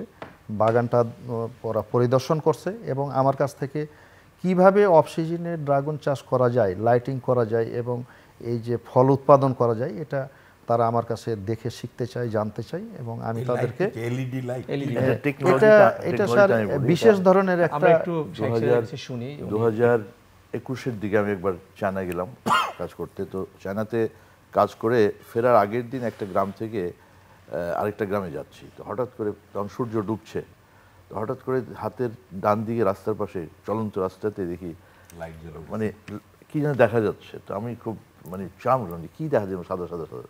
কাছে গেলাম। গিয়ে দেখি। তো সব চাইনিজেরই কিন্তু একটা ইংরেজি নাম থাকে? নিজস্ব নামের পাশে। তো ইয়াং একটা একেবারে ইয়াং রবার্ট বা something like this very common নাম। তো আমি জিজ্ঞেস করলাম যে এটা কি? বলল লাইট আমি এটা কী হবে? বলল ওই শীতের সময় তো দিনের দৈর্ঘ্যটা কম থাকে তো ওই সন্ধ্যা হলেই আমরা লাইটটা জ্বালিয়ে দিই। এতে করে আবার ফুল আসে আবার ফল হয়। ড্রাগন একটা দীর্ঘমেয়াদী ফসল সো দ্যাট একবার ফল দিয়ে এটাতে হবে না। যে কারণে দুবার ফল নেওয়ার জন্য এই কাজটা করি এলইডি লাইট। ওইটা আমি আরেকটা গ্রামে যাওয়ার কথা ছিল ওটা না গিয়ে আমি সন্ধ্যা পর্যন্ত অপেক্ষা করে ওই পুরো প্রতিবেদনটা ধারণ করলাম। ধারণ করে এনে তারপর ওইটাকে যখন টেলিকাস্ট করলাম বাংলাদেশে বুঝছ? তখন দেখা গেল যে এই লাইটের প্রচলনটা অনেক জায়গায় আস্তে আস্তে আস্তে স্প্রেড করা শুরু করল। দ্যাট ইজ দ্য মেইন মানে হিস্ট্রি টেকনোলজি ট্রান্সফার টেকনোলজি ট্রান্সফারটা এটা। দারুণভাবে কাজ করেছে। আমরা আমরা একটু আরেকজন ফল চাষি আছেন আমাদের সঙ্গে মফিজুর রহমান। উনি কৃষি উদ্যোক্তা ফরিদপুর থেকে আসেন আপনি। আপনি তো এক এক ধরনের শাইখ সিরাজ বলছিলেন যে আপনি যেখানে হাত দেন সেটা সোনা ফলে যায়। হ্যাঁ, আপনার সম্পর্কে আমার মনে হয় যে বড় কমপ্লিমেন্ট আর হয় না। হ্যাঁ, আপনার কাছে জানতে চাই যে আপনি কীভাবে কৃষিতে আসলেন? হ্যাঁ, এবং সরাসরি ফল চাষে। জি ধন্যবাদ। আসলে আমার কৃষিটা আসার পিছনে একটু কাহিনী আছে সেটা হলো আসলে আমরা এমনিতে কৃষক আমার আব্বা কৃষক। আসলে আমি কৃষক হওয়ার কারণে আমরা পড়াশোনাটা তেমন তেমন হয় নাই। আমি খুব অল্প বয়সে আমি বিদেশে গেছি মধ্যপ্রাচ্যে কুয়েত ছিলাম। ওখানে তোমার তখন বেতন ছিল মাত্র বাইশ দিন আর বাংলাদেশে চার হাজার টাকা আসতো। আর আমি খরচ করে গেছি বাংলাদেশে পঁচানব্বই হাজার টাকা বাবার জমি প্রায় রেখে। তো চার হাজার টাকা আর ওভার টাইমটা দশ হাজার টাকা। তখন একটা টার্গেট ছিল দশ হাজার টাকা আমার এগুলি মনে হয় যথেষ্ট আমার জন্য। তো দশ হাজার টাকা বোঝেন সকাল আহ, পাঁচটায় ঘুমিতে উঠি আর রাত বারোটা সাড়ে বারোটা পর্যন্ত আমরা কত সালে এটা? এটা দুই হাজার পাঁচ ছয়। আচ্ছা। আর তখন ওই বারোটা পর্যন্ত আমাদের কাজ। মানে কাজ বলতে একটা পর্যন্ত ডিউটি করতে চার চার হাজার টাকা বেতনে একটা পর এসে বাসায় আসতাম বাসায় ফ্রেশ হয়ে এক দেড় ঘণ্টার মধ্যে রান্না বাড়া করে খাওয়া দাওয়া করে পার্ট টাইম যেতাম। আর একটা ছয় হাজার টাকা বেতন চাকরি করতাম ওই দশ হাজার টাকা। তো ওইটা করতাম আর বার বারোটার সময় কাপড় চোদ্দ ধোয়ার ফ্রেশ হয়ে ওই শোয়ার আগে এই অনুষ্ঠান দেখতাম বিভিন্ন রকম ইটি দেখতাম আর স্যারের অনুষ্ঠান। বেশিরভাগ কৃষিকাজ অনুষ্ঠান সবসময় দেখতাম। আমার তখন অ্যান্ড্রয়েড মোবাইলটা চলে আসছিল দেশে বিদেশে। আর স্যারের ইউটিউব চ্যানেল ছিল পেজ ছিল দেখে আর ভাবতাম যে দেশে যায় যদি এতটা কষ্ট করে দশ হাজার কামাচ্ছে একটা বাগান বা একটা ফল চাষ বা একটা উদ্যোক্তা হওয়া যায় করা কি যায় না যাই হোক, সে, যে কাজ সেই কথা। তারপরে ওই জায়গায় কিছুদিন প্রায় ছয় বছর ছিলাম। ছয় বছর বাড়ি আসলাম। বাড়ি আসার পরে আমার ছোটো বাইরে আবার পাঠাই। একটা ডিআইএম বিষয়, বেতন ভালো। আমি আসার পর আর যাওয়া হয় না তখন আমি আর একটা বাড়ি করলাম, থাকার মতো। তখন আমাদেরকে বাড়ি ছিল তেমন একটা। টাকা প্রায় শেষ। আর অনুষ্ঠান দেখতাম স্যারের। আর এর ভিতরে আব্বার বললাম, আব্বা, আমার কিছু জমি দেন। আমি একটা বাগান করি বা ফল অন্য চাষ করি। আর আমাদের এলাকায় চাষটা হয় শুধু ধান, পাট। পাট এইগুলো হয়। আর প্রচুর পরিশ্রম। তো আমার চিন্তা ছিল যদি আমি এই চেঞ্জটা একটু চেঞ্জ করতে পারি ফল চাষি আনিয়া তাহলে আমাদের এলাকার লোক বাঁচলো। আব্বা করে না কোনো রকম জমি দেওয়া যাবে না। কারণ আমার ধানের দরকার। মাস গেলে বছর গেলে খাব কি? আস্থা নাই। আস্থা নাই। তো যাই হোক আমি আমি এক বছর ধান লাগে কয় মনে করব বিশ মন। আমি বিশ মন ধান কিনে দিলাম ভাই তোমার বিশ মন ধান দিলাম আর আমার জমিটা দাও। জমিটা দিল আর আমার কিছু পুঁজি ছিল ওই দিয়ে বাগান শুরু করলাম। তার আমি একটা সারের একটা যশোর একটা কুল বাগান প্রতিদিন দেখছিলাম কাশ্মীরি কুলের নামে। তখন ওনার সাথে যোগাযোগ করে ওখান থেকে আমি কিছু চারা নিয়ে আসলাম। দিয়ে শুরু করি প্রথম বছরে দুই হাজার চারা দিয়ে কুলের আর মোটমোট পেয়ারা দিয়ে মালটা দিয়ে শুরু করি। তো আলহামদুলিল্লাহ আসলে ওই যখন আমি শুরু করি আমি চারাটা নিয়ে বাসায় চলে আসলাম আর আমার আব্বা বাড়িতে চলে গেলো। এত রোদ চারা আনছে এই কী চারা নিয়ে নিয়েছে তিন দিন খায় নাই আমার আব্বা। কী করল? বুঝছেন আব্বা ওর অন্যরকম একটা লোক পরে যাই হোক ওই লাগালাম, আমি ওই সকালে যাইতাম, নামাজ টাজ বাগানে সন্ধ্যা পরে আসতাম। আমিও যে বাইবেটা বললাম পাগল, অনেকে আমার অনেক কিছু বলছে। মানুষের গামছা মুড়ি দেবারই আসতাম। মানুষ বলছে হ্যাঁ কী করতেছে? এই তো টাকা নষ্ট করে। যাই হোক, আলহামদুলিল্লাহ, আমি আসলে চেষ্টা করতেছি আর দিন দিন আল্লাহ কাছে ই করতেছি, আল্লাহ ইজ্জতের সাথে বাঁচার তফিক দিয়ে আমি এই সবসময় ভাবি, আল্লাহ ইজ্জতের সাথে আমার তফিক, বাঁচার তফিক দিয়ে যাক আলহামদুলিল্লাহ চার মাস, ছয় মাস যায় গাছে ফুল চলে আসে। গাছ বড় হয়ে গেছে হাইট হয়ে গেছে আট ফিট দশ ফিট তো আলহামদুলিল্লাহ নভেম্বর ডিসেম্বর মাসে দেখি গাছের প্রত্যেকটা গাছে এত সুন্দর ফল আছে তখন মানুষ আনা আসা যাওয়া শুরু করছে। তো একদিন আমি বাগানে গেছি বাগান যখন এত ভালো লাগছে আর স্যারের কথা মনে পড়তেছে। স্যারের আহ, ই দেখলাম শাইক স্যারের কথা মনে হচ্ছে স্যারের ভিডিও দেখলাম ওনার ভিডিও দেখে দেখি বাগান করলাম। স্যার এক মিনিট ফোন দেওয়া যায় কীভাবে? ওনার যোগাযোগ করা যায় কীভাবে? আচ্ছা। যাই হোক স্যার একটা বাগান করছিল ভিডিও দেখাচ্ছিল মালটার বাগান শাকত নামের। ওনাকে ফোন দিলাম ওনার নম্বর দিয়েছিল। তারপরে উনি আমি বললাম স্যারের নম্বরটা ভাই দরকার আমার। যেভাবে হোক দিবেন। উনি দিতে চাইছিলেন না উনি অনেক রিকোয়েস্ট করে দিলাম দেওয়ার সাথে স্যারে ফোন দিলাম। স্যার যে আমার ফোন একবার দ্বিতীয়বার ফোনটা রিসিভ করল। আমি স্যার কথা কীভাবে বলতে পারতেছিলাম না। স্যার ফোনটা রিসিভ করছে। তো বললাম স্যার আমি তো একটা বাগান করছি আপনার ই দেখে উদ্ভুত ভিডিওগুলো দেখে আপনি যদি আমার বাগান একটু আসতেন আমি আসলে নিজের অনেক ই মনে করতাম ধন্য মনে করতাম। আর আমার ফসলটা দেখেন স্যার মনে হয় আপনারা টিভিতে দেখছেন আমাদের তারকা কৃষকের স্যার স্যার তখন জহির নাম্বারটা দিল ওনার যোগাযোগ করলাম। স্যার বাইশ তারিখে জানুয়ারি মাসের বাইশ তারিখে আমার ডেট দিল স্যার বাগানে গেল। আলহামদুলিল্লাহ স্যার দেখেও খুশি এবং এলাকার লোক দেখার পরে খুশি এতটা যে আর একটা ই হয়ে গেল। ও তার আগে একটা কথা আছে আপনার বাবার কথা বলেন। ও আমার আব্বা চলে হ্যাঁ, গেল। হ্যাঁ, চলে গেল। আমার আব্বা ইয়ে আসলো ছয় মাস তিন মাস তারপর যখন ফুল আসা দিল না তখন আব্বা আমার হ্যাপি খুশি। আচ্ছা। মানে হ্যাঁ তো খুশি খালি কথা মহিষ কোনো রকম যেন ক্ষতি নয়। এই পানি একটু কম হলে স্প্রে দিস না গিয়া। এই স্প্রে কর। উনি আমার সাথে মানে উনি তদারকি শুরু তদারকি। শুরু করল। আমার সাথে বাগানে ঢুকতো এটা করতো। আমি নিজে ওষুধ দিতাম তখন। আমি নিজে সব করতাম তখন। লেবার ছিল কম মহিলারা ছিল। তো স্যার যখন বাগান আসে ভিডিও করা ও তার আগে আমি করলাম কি ছয় হাজার ইয়ালাম ওই যে কুলের চারা তৈরি করার জন্য কিনালাম যে অনেক কিছু চাবে নেয় কি না চারা তৈরি করব। যেহেতু আমার বাগান বলে সবাই নেবে। স্যারের আসার আগে। তখন আমি চারাটা আনার পরে আবার আমার ফোন দিয়ে তার সাথে ভাই এই চারা নিবো না আমি আমরা সারা কিনবে নাকি না? হুম হুম। এ সারা নিব না আমরা সারা কিনবো না। তো কি স্যার ভিডিও করার পর বিশ্বাস করেন ওই বছর সাড়ে তিন লক্ষ চারা আমি খালি চারাই বেচছিলাম একটা চারা পঞ্চাশ টাকা করে। মানে ছয় হাজার চারা বিক্রি হয়ে গেল? না সাড়ে তিন লক্ষ। সাড়ে তিন লক্ষ চারা? হ্যাঁ ওই সারে ভিডিও করার পর তো চারা শুরু করলাম। আর আমিও তখন ওই বছর প্রায় আমার টার্গেট ছিল ষাট পঁয়ষট্টি লক্ষ কুলটা বেচা। টার্গেট ছিল আমার তিন লক্ষ টাকা খরচ হলো কিন্তু ওই কোভিড নাইন্টির কারণে পঞ্চাশ লাখ টাকা মতো কুল বেচছিলাম। আর প্রায় বাকি কুলগুলো নষ্ট হয়ে গেছিল তখন ওই যে বাজারজাত করতে পারছিলাম না। তারপর আল্লাহকে শুক্রিয়া আদায় করি আর এদিকে আমি চারা তো তৈরি করতেছি। মানে অর্ডার অর্ডার আমি প্রত্যেক বছরে আমার আর দুই লক্ষ আড়াই লক্ষ চারা বিক্রি হয়। বা সারা বাংলাদেশ অন্তত কয়েক হাজার ইয়াস উদ্যোক্তা আছে আমার আপনি চারা বিক্রি করেনি কোটি টাকার উপরে। হ্যাঁ পঞ্চাশ টাকা করে যদি। না এখন কম বেশি পঁচিশ টাকা করে আগে ওই প্রথম বছর পঞ্চাশ টাকা করে বেছিলাম আচ্ছা। তো এর পিছনে সম্পূর্ণ অবদান করলাম আমি চ্যানেল আইডিয়া দেবো হৃদয় মাটি এবং স্যার। কারণ ইনি যদি না দিতেন সারা বাংলাদেশে এই উদ্যোক্তা উদ্যোক্তা তৈরি হতো না। নিঃসন্দেহে চিটাগাং চট্টগ্রাম কক্সবাজার এলাকায় মানে দুই এক হাজার আছে আমার উদ্যোক্তা। প্রত্যেকটা দিন বুঝছেন? তো আর আমার এলাকায় নিজস্ব এলাকা অন্তত দুই থেকে দুশো আড়াইশো উদ্যোক্তা হয়েছে এবং ছোট পরিসরে তিন বিঘা চার বিঘা পাঁচ বিঘা চাষ আছে এবং এমা- আমাদের ফরিদপুর এই কুলটা এবং অন্য অন্য চাষটা বাগান মানে অন্য অন্য ফসল বাদ এরপর এতটা ঝুঁক হয়েছে লাভ বেশি। জি। খরচ কম। জনাব মফিজুর রহমান আপনার কথা আরও আবার আমরা শুনব। আমাদের আরও দুইজন তারকা কৃষক রয়েছেন। আমরা একটু তাদের কথা শুনতে চাই। ফেরদৌস মুরাদ আপনি একজন আইটি প্রকৌশলী। আপনি আমি আপনার সঙ্গে যখন কথা বলি যে চীনের যে বিখ্যাত প্রতিষ্ঠান আলিবাবাতেও কাজ করেছেন আপনার। বাংলাদেশেরও কয়েকটি আইটি প্রতিষ্ঠানে আপনি নির্বাহী হিসেবে কাজ করেছেন। আপনি এইরকম একটা সম্ভাবনাময় জায়গা থেকে কৃষিকে কেন বেছে নিলেন? কৃষিকে কেন মনে হলো যে আপনি, আপনার মাছ চাষ, আপনি আইপিআরএস যে আধুনিক যে প্রযুক্তি মাছ চাষের সেইটি আপনি ফলো করছেন। আপনার এই কৃষির প্রতি আগ্রহটা কীভাবে তৈরি হলো, সেইটা আমরা জানতে চাই। নিঃসন্দেহে ধন্যবাদ। কৃষির প্রতি আমার আগ্রহ আসলে ছোটোবেলা থেকেই ছিল। কারণ আমার অনেক ছোটবেলা থেকে আমরা আসলে হৃদয়ে মাটির মানুষ মানে মাটিও মানুষ যে প্রোগ্রাম বিটিভিতে প্রথমে যেটা হচ্ছিল আমরা ওটা দেখতাম আমি দেখতাম নিয়- নিয়মিত। আমার আম্মাও দেখতো। তো আমরা একটা ফলোয়ার ছিলাম স্যারকেও দেখছি আর কি।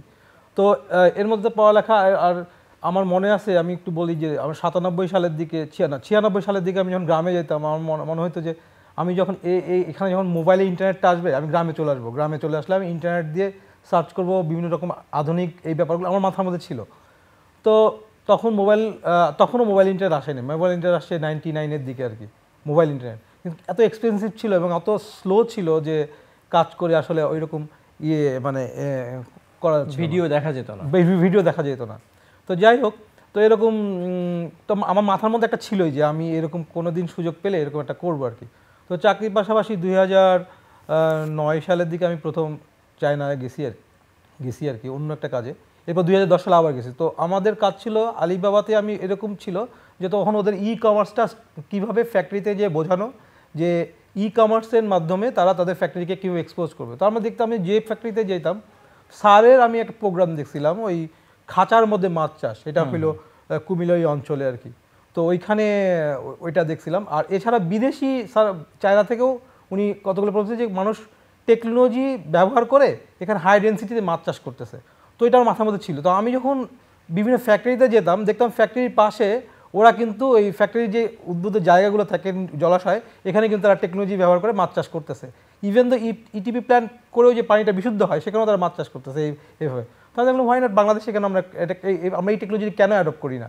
কেন আমরা ই করি না? হ্যাঁ, তো তখন ওইটা থেকে আমি নাটোরে আমাদের আমার ভাইরা আর কি ওনার ওনার বাবার নাম হলো মোশারফ হোসেন, উনি নাটোরের মানে উনি মানে ধর্নাঢ্য ব্যক্তি তাদের একটা ফার্ম ছিল, এই পনেরো, ষোলো, সতেরো বিঘার একটা ফার্ম ছিল। তো পুকুর ছিল, তো ওরা মাছ চাষ করে, হয়, কিন্তু ট্রেডিশনাল ওয়েতে করে, তেমন একটা লাভ পায় না আর কি, ওই সময়।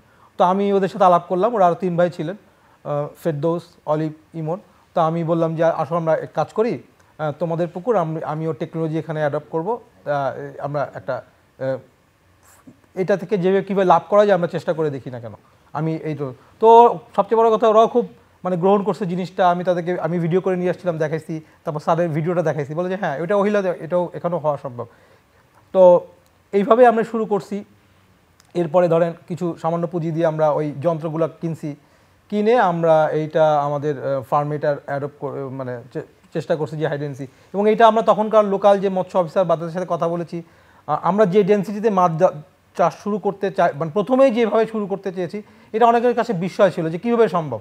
এটা তো সম্ভব না। তো পরবর্তীতে আমরা ওই ডেন্সিটিতে চাষ করেছি এবং আমরা সফল হয়েছি। সনাতনী যারা চাষ করতেন আর আপনি যে এই টেকনোলজি ইউজ করলেন এতে উৎপাদনে ওই ওই প্রথম ওই সময় আমরা দেখেছি যে ধরেন নর্মাল পুকুরে যারা ধরেন রুই মাছ ওই রুই মাছ পাবদা মাছ ওই অঞ্চলে বেশি চাষ হতো। তারা দেখা যাচ্ছে আমাদের রাজশাহী নাটোর অঞ্চলে রুই মাছ তারা ধরেন একটা নর্মাল পুকুর থেকে সর্বোচ্চ এক বিঘাতে ছয়শো কেজি সাতশো কেজি নিতে পারে সর্বোচ্চ তারা নিতে পারে। তা আমরা যখন টেকনোলজি অ্যাডপ্ট করলাম তখন আমরা এখান থেকে দেখলাম দেড় হাজার দুই হাজার তিন হাজার কেজি পর্যন্ত আমরা এক বিঘা থেকে নিলাম তাহলে কী হলো আমাদের আপনারা হয়তো জানেন স্যারও জানে যে সরকারিভাবে কিন্তু পুকুর কাটা নিষিদ্ধ কৃষি জমিতে। তো যদি পুকুর কাটা নিষিদ্ধ হয়ে যায় তাহলে মানুষ তো পুকুরের দাম বেড়ে যাবে।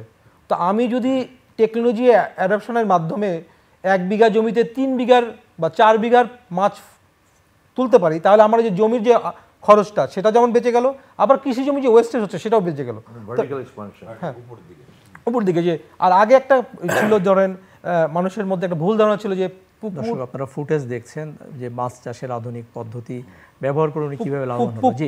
পুকুরের পুকুরের যে একটা ছিল যে মানে মানে আইপিআরএস ব্লক ব্লক দিস এটা হলো একটা আধুনিক টেকনোলজি ইনপন্ড রেসে সিস্টেম সেটা আমরা অ্যাডপ্ট করলাম যে এখানে অন্যান্য পুকুর থেকে প্রায় আট থেকে দশ গুণ বেশি উৎপন্ন করা যায়। এটা আরও বেশি টেকনোলজি আপনার যেটা দেখছেন সোলারও ব্যবহার রাইট আমাদের কিছু সোলার প্যানেল আছে ওই যে ইলেকট্রিসিটি বিল কমানোর জন্য। যেহেতু যখনই টেকনোলজি আসবে তখনই কিন্তু ইলেকট্রিসিটির কথা এসে পড়বে এবং আনফর্চুনেটলি খুবই দুঃখজনক যে আমরা যারা মাছ চাষ করি তাদের সাথে টেকনোলজিটা এখন অতপ্রতভাবে জড়িত। এবং এখানে বিদ্যুৎ বিল একটা খুবই ভাইটাল রোল প্লে করে। ফিডের পরেই টোয়েন্টি পার্সেন্ট হারে বিল দিতে হতো আপনাদের। আমাদের কিন্তু ফুল আমরা কিন্তু ইন্ডাস্ট্রিয়াল হারে বিল বিল দিচ্ছেন মানে আমাদের কিন্তু এখানে এই যে ইলেকট্রিসিটি বিলের এই যে ব্যাপারটা যে স্যার যে দেখেছে যে আমরা এটা কি বলছি যে এই ইলেকট্রিসিটি বিল যদি কমানো যায় তাহলে আমরা আরও বেশি টেকনোলজি ইউজ করতে পারব এবং প্রণোদনা দেয় সরকার। আপনারা কি আমরা সেটা পাই না। আমরা ফিশারিরা সেটা পাই না এখনও 20% পায় না। এটা যেটা। নিয়ে সেই ইয়ে আমাদের মোহিত সাহেবের সময় থেকে আমরা অনেকবার বাজেট অনুষ্ঠানে বহুবার স্যার অনেকবার বলেছে কিন্তু এটা আজকে পর্যন্ত এর হয় নাই কিন্তু দেখেন সাস্টেনেবল ওয়েতে মানে স্বাস্থ্যসম্মত পদ্ধতিতে যদি মাছ উৎপাদন করা যেটা মানুষের স্বাস্থ্যের জন্য ভালো, তখন কিন্তু সেক্ষেত্রে টেকনোলজি ব্যবহারের কোনো বিকল্প নেই। এবং যখনই আপনি টেকনোলজি ব্যবহার করতে যাবেন, তখনই কিন্তু ইলেকট্রিসিটি একটা বড় আপনার সোলার দিয়ে আপনার কত পার্সেন্টেজ আপনার বিদ্যুৎ মেটাতে পারছেন? এখন সোলারের যে ইনস্টলেশন কস্ট সেটা তো অনেক বেশি। আমি ধরেন আমরা হয়তো করতে পেরেছি অনেকে করতে পারবে না। কীরকম পার্সেন্টেজ আপনার? সেটা ধরেন আমাদের সোলার দিলে হয়তো ছয় আমরা যদি হাঁস ওয়াদেরকে বাদ দিই গড়ে হয়তো ছয় ঘণ্টা আমার ব্যাকআপ দিতে পারবে। তাও তো ছোট্ট আকারে আর কি। বড় আকারে করতে গেলে হিউজ ইনভেস্টমেন্ট প্রয়োজন আর কি। সেটা অনেক কৃষকের পক্ষে ইভেন বড় বড় কৃষকের পক্ষে সম্ভব না। আরেকটি কারিগরি বিষয় আপনি এই যে এসি কারেন্ট ডিসি কারেন্ট একটা ইস্যু বলছিলেন হ্যাঁ, খরচ কমানোর জন্য। রাইট হ্যাঁ এটা এই- কি? এই- এই টেকনোলজি দিয়ে চায়নারা এই এই টেকনোলজিগুলো আবিষ্কার করে মানে মানে মানে উৎপাদন করে। যদিও আইপিআরএস ইনপন রেসওয়ে সিস্টেম এই টেকনোলজিটা আবিষ্কার করেছে USEC United States soybean export council তারা আয়োয়া সোয়াবিন এবং উবান ইউনিভার্সিটি আমেরিকা, তারা রিসার্চ করে এই সাস্টেনেবল ওয়েতে মাছ যাতে চাষ করা যায়, সেই টেকনোলজি উদ্ভাবন করেন। এবং তারা এখানে ফান্ড করেন ট্রেনিং দেয়, অনেক কিছু করছে আর কি, যাতে মানুষ এটা দ্বারা উপকৃত হয়। আর কিন্তু দেখা যাচ্ছে যে এইটা, এই টেকনোলজি আমরা অ্যাডপ্ট করার সময় আমাদের ইলেকট্রিসিটি বিল অনেক বেশি। যেমন ধরেন, আমি একটা হোয়াইট ওয়াটার ইউনিটের কথা বলি, ছোট্ট একটা ওয়াটার ইউনিট চালাতে আমাদের টু পয়েন্ট টু কিলোওয়াট বিদ্যুৎ লাগে। যদি কেউ ছোট্ট করে একটা আইপিএস করে দেখা যায় পনেরো থেকে বিশ কিলোওয়াট তার বিদ্যুৎ খরচ হয়, যা অনেক এক্সপেন্সিভ এরই ফলশ্রুতিতে চাইনিজরা এইটা নিয়ে গবেষণা করল। স্যার স্যার জানে আমার থেকে বেশি, যে চায়না সাংহাই ওশান ইউনিভার্সিটি, তারপরে China fresh water fish research centre এবং সুজু জিংসিং টাইগার একজন ভদ্রলোক আছেন। তাদের সমন্বয়ে তারা এই কীভাবে বাংলাদেশে এই টেকনোলজিটা মানে কম বিদ্যুৎ খরচের মাধ্যমে তৈরি করা যায়, তার জন্য তারা একটা উদ্ভাবন করে ডিসি মোটর। ডিসি মোটরটা হলো এরকম যে যে মোটরটা দ্বারা আপনি বিদ্যুৎ খরচ তো কম হবে একই সাথে। এটা একই সাথে সোলারে ব্যাটারিতে উইন্ড পাওয়ারে এবং আপনার support দিবে। রাইট সাপোর্ট দিবে। মানে ইনস্ট্যান্ট মানে সে যে যে পাওয়ারটা সে কম পাবে সেখান থেকে নেওয়া যাবে। এবং সেখানে ধরেন বিএমএস আছে ব্যাটারি ম্যানেজমেন্ট সিস্টেম আছে। ইএমএস আছে এনার্জি ম্যানেজমেন্ট সিস্টেম আছে? জি জনাব মুরাদ আমরা আপনার কাছে আবার আসব। আমাদের আরও একজন তারকা কৃষক রয়েছেন শরীফ আদিস আপনি ছাদ কৃষি নিয়ে কাজ করছেন। আমরা জানি যে গত প্রায় এক দশক ধরে ছাদ কৃষি যে একটা আন্দোলন এই আন্দোলনটি নেতৃত্ব দিয়েছেন শাহেক সিরাজ এবং এটি বাংলাদেশের আনাচে কানাচে এটি এখন নানা আহ, ভাবেই এটা অনুসরণ করছেন। আপনি কীভাবে এই যে ছাদ কৃষি ছাদ তো পড়ে থাকে হ্যাঁ এটা পড়ে থাকার জিনিস। এই জায়গায় কৃষি কীভাবে যুক্ত হলো? আপনি কীভাবে আসলেন? ধন্যবাদ আপনাকে। মূলত আমি স্যারের প্রোগ্রাম দেখি অনেক আগে থেকেই, নব্বই দশক থেকেই বলা যায়। এটা দেখে দেখে আমি উৎসাহিত হয়েছি এটার প্রতি। তো এখন এইখানে আর বেশ, আমি যেটা, আমার যেটা অভ্যাস, সেটা আমি বসে থাকতে পারি না। আমি একটা কাজ নিয়ে থাকি। তো এই কাজটা আমি এই ছাদ কৃষির মধ্যেই আমার সময়টা দিই বেশিরভাগ সময়। তো এটা নিয়ে আমি ছাদ কৃষি করছি। এখন আমি যেটা দেখতে পাচ্ছি স্যারের বদলতে বাংলাদেশে এটা একটা বিপ্লব ঘটে গেছে। কারণ এখন আমরা নার্সারিতে গুলো- গুলোতে যেও চারা কিনতে পারি না। দিয়াবাড়ির মতো জায়গায় যেখানে হাজারটা নার্সারি সেখানে যেও আমি চারা পাই না। মানুষ সব নিয়ে গেছে। ওনারা উৎপাদন করে শেষ করতে পারতেছে না। এটা সু- মানে প্রাতিষ্ঠানিক একটা রূপ ধারণ করছে এই স্যারের বদৌলতে। আর এটা এখন আমি নিজেও এটার সাথে অনেক দিন যাবতীয় জড়িত।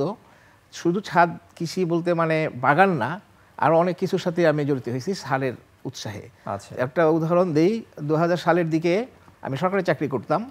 হঠাৎ আমার মাথায় আসলো যে স্যার যে যে মুরগির খামারগুলো নিয়ে এত প্রোগ্রাম করতেছেন আমি একটা করলে কেমন হয়? তো আমার বাসা ঢাকা শহরে কমলাপুরে একটু খালি জায়গা ছিল।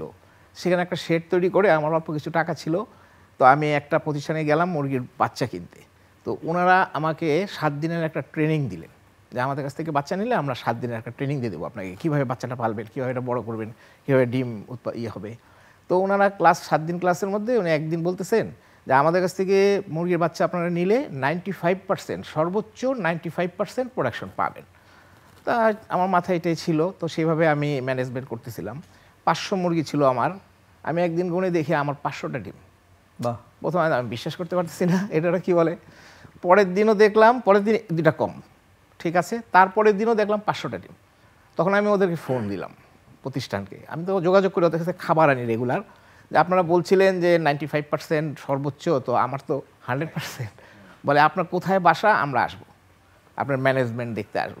তো ঠিক আছে, আসেন, ঠিকানা দিলাম। ওনারা এসে ছবি টবি তুললেন, তখন তো হয়তো ভিডিও করেন নাই। স্টিল ছবি দিলেন আমাকে কিছু সাক্ষাৎকার নিলেন, আপনি কীভাবে ম্যানেজমেন্ট করেন? এগুলো আমরা আমাদের অন্যান্য ইসেদেরকে জানাব। তা আমি বললাম যে আমি কোনো আপোষ করি না। স্যারের কথায় আমি এত উৎসাহিত যে আমার এই এটার কোনো আপোষ নেই। যখন যেটা দিতে হবে সেটাই দেই। তবে মাঝখানে বেশ কিছু মানুষ আমাকে বলতো যে, তুমি যেই পরিবারের ছেলে বা যেই চাকরি করো, যেই পেশায় আসো এটা তোমার সাথে এটা যায় না। তা আমি বললাম, ভাই, না গেলে কী করব? আমাকে তো একটা কাজের মধ্যে থাকতে হবে। কাজ ছাড়া আমি থাকতে পারি না। তা আমাকে এই কাজটাই আমার কাছে সবচেয়ে ভালো লাগে। এটা করলাম। এখন আমি ছাদ বাগান করি আমার ছাদে। প্রচুর মানুষ আমার ছাদ বাগানে আসে দেখতে। আমার একটা স্যার দেখেছেন স্যারের প্রোগ্রামে বলেছিলাম একটা স্টেজ করেছি আমি ওটার উপরে আহ, বাসরলতা গাছ দিয়ে। এখন এই সিজনে প্রচুর বাসরলতা ফুলগুলো ঝুলছে এবং অনেক কাপল আমার বাসায় আসে। সেদিন আমার এক ভাগ্নি আসছে জামাইবাবুকে নিয়ে বেড়াতে। তো ভালো বেড়া বলে মামা আমি এখানে একটু ছবি তুলবো। তুলো। মানে এটা ট্যুরিজম স্পটের মতো হয়ে গেছে। সে হঠাৎ করে ব্যাগের ভিতর থেকে ওই যে বৌরা যে একটা ইয়ে হ্যাঁ, পরে লাল কাপড় লাল কাপড় হ্যাঁ, পরে সেটা বের করে সে ওইভাবে বসে পড়ল, সেজে ছবি তুললো। সাথে। দারুণ ব্যাপার। আমি তো দারুণ ব্যাপার। যাই হোক সবচেয়ে ভালো যেটা আমার সময় কাটে খুব ভালো আমি একমাত্র চুপ করে বসে থাকতে পারি বাগানে। বাগানে বসে থাকলে আমার সময় কীভাবে কাটে আমি নিজেও জানি না বাট এমনিতে আমার ওয়াইফের একটা অভিযোগ এটা তুমি শুধু কাজ আর কাজ শুধু কাজ আর কাজ এটা কেন? তো এনিওয়ে তা আমি সত্যি স্যারের কাছে কৃতজ্ঞ।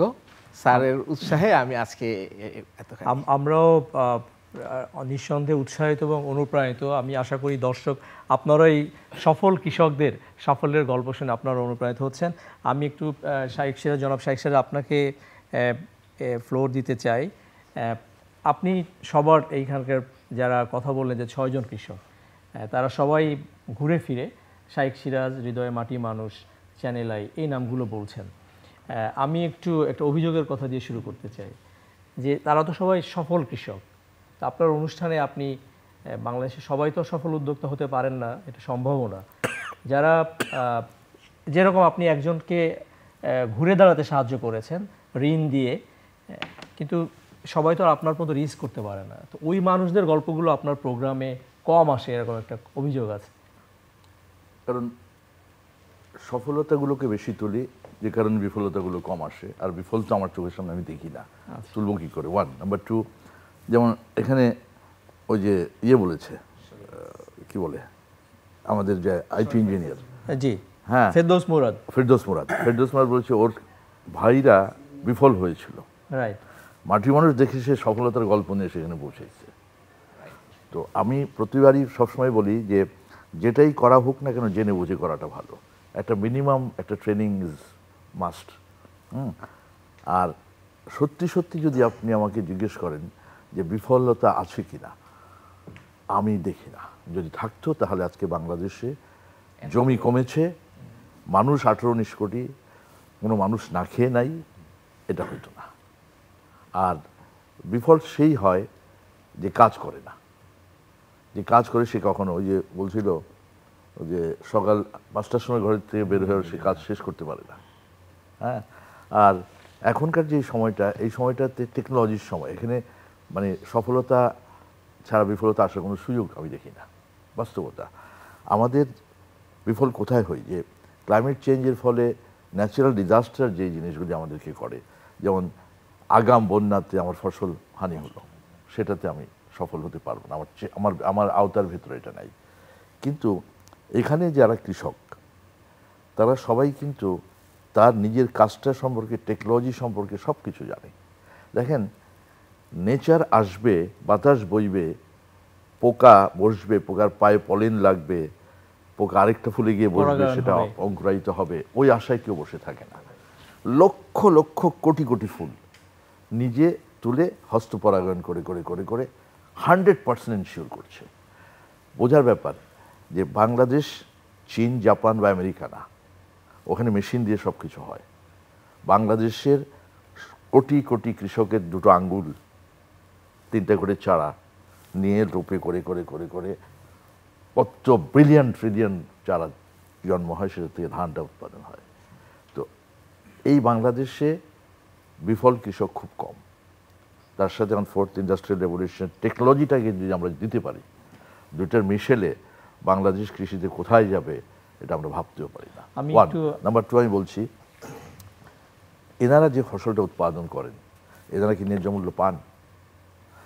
এনারা কি ফসলটা সংরক্ষণ করতে পারেন?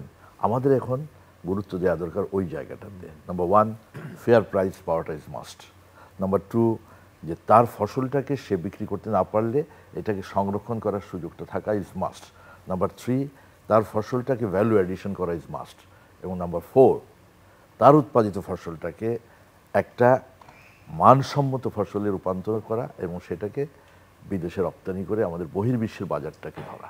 Good agricultural good practice agriculture প্র্যাকটিসের মধ্যে।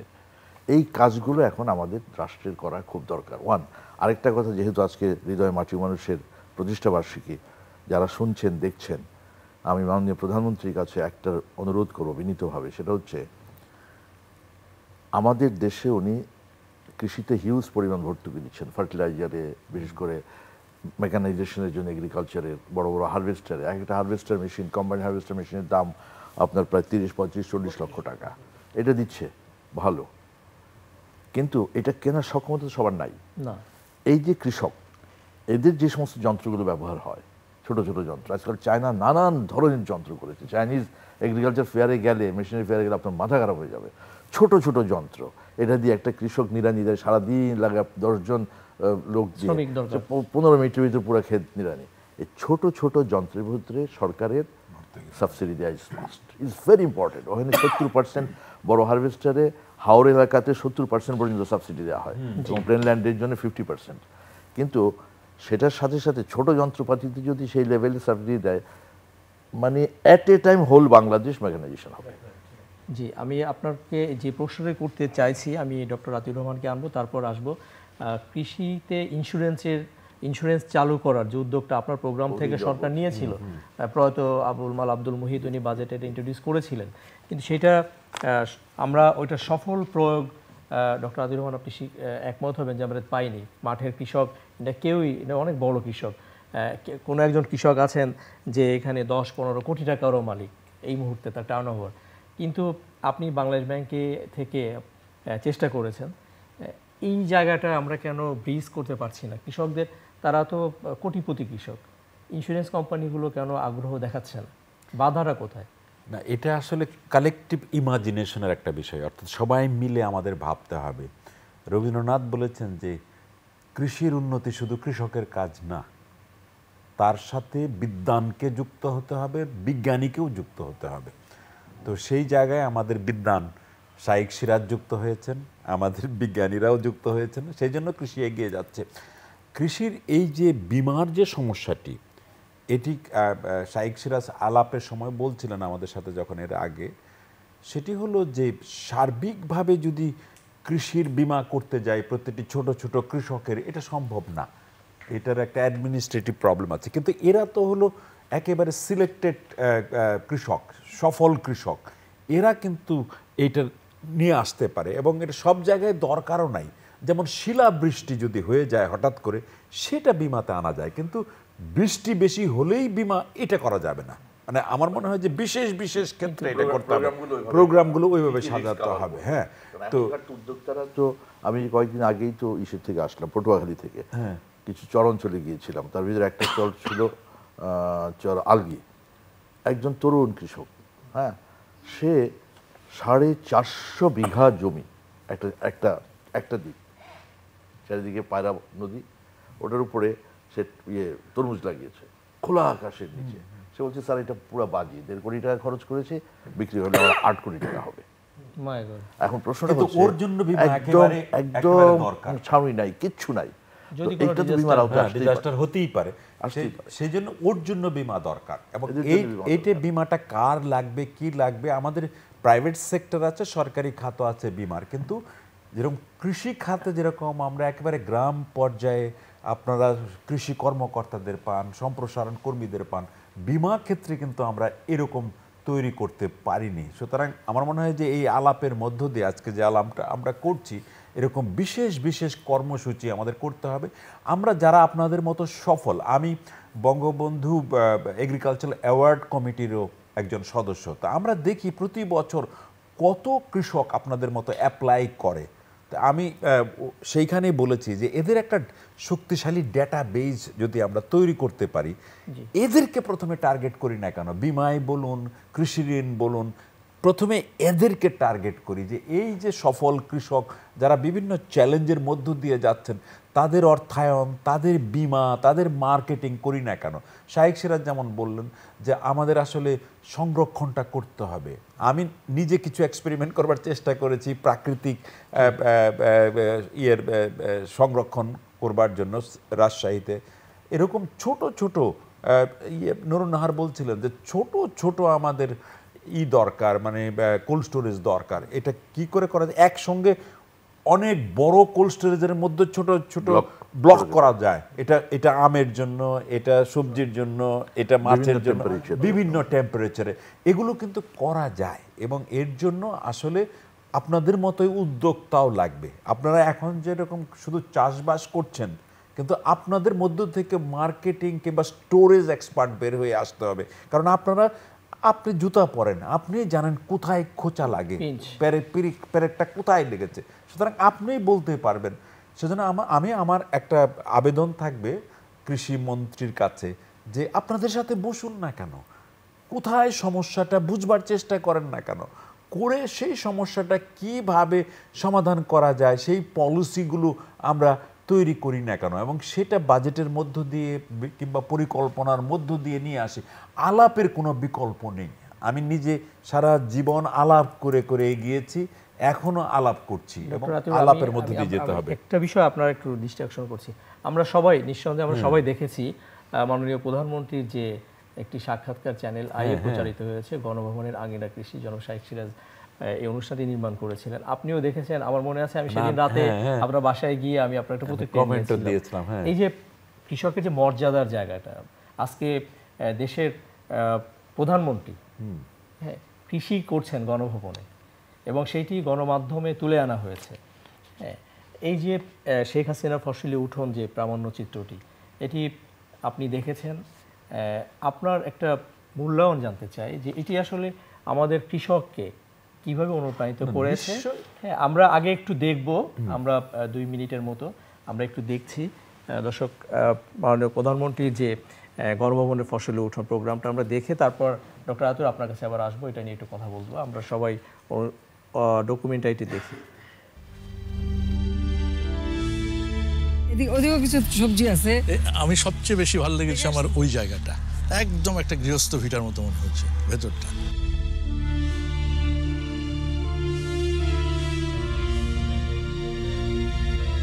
এটা আপনার একটা রিসার্চ ফিল্ড এখানে যেমন এক- একটা চাল আসলো একটা চালের বীজ আমাকে যশোর থেকে এনে দিল আমাদের নজরুল ওই যে কুরেটার বলল যে এটা একটু। তো আমি এখানে লাগালাম।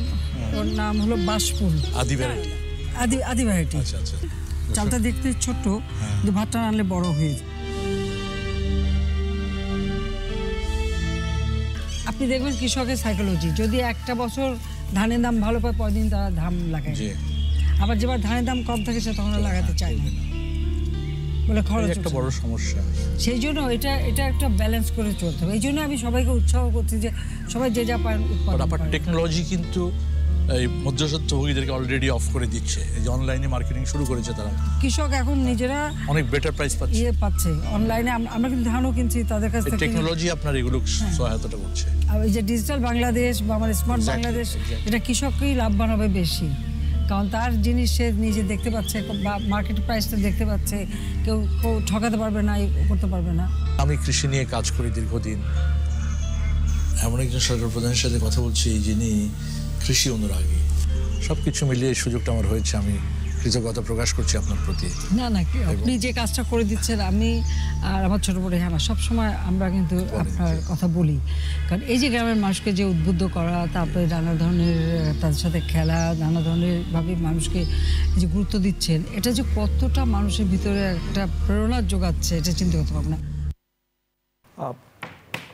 আমরা দেখছিলাম মাননীয় প্রধানমন্ত্রীর সেই সাক্ষাৎকারটি। ডক্টর আতিউর রহমান। না, আমি এই পুরো সাক্ষাৎকারটা সেদিনও দেখেছি, আজকেও দেখলাম। আমাদের বড়ই সৌভাগ্য যে সর্বোচ্চ নেতৃত্ব যখন কৃষকের কষ্ট বোঝেন, কৃষকের সম্ভাবনাও বোঝেন, কৃষক যে প্রযুক্তি ব্যবহার করা দরকার সেই কথাটিও বলছেন এবং একই সঙ্গে যে তাদের কাছে তথ্য দেবার চেষ্টা করছেন।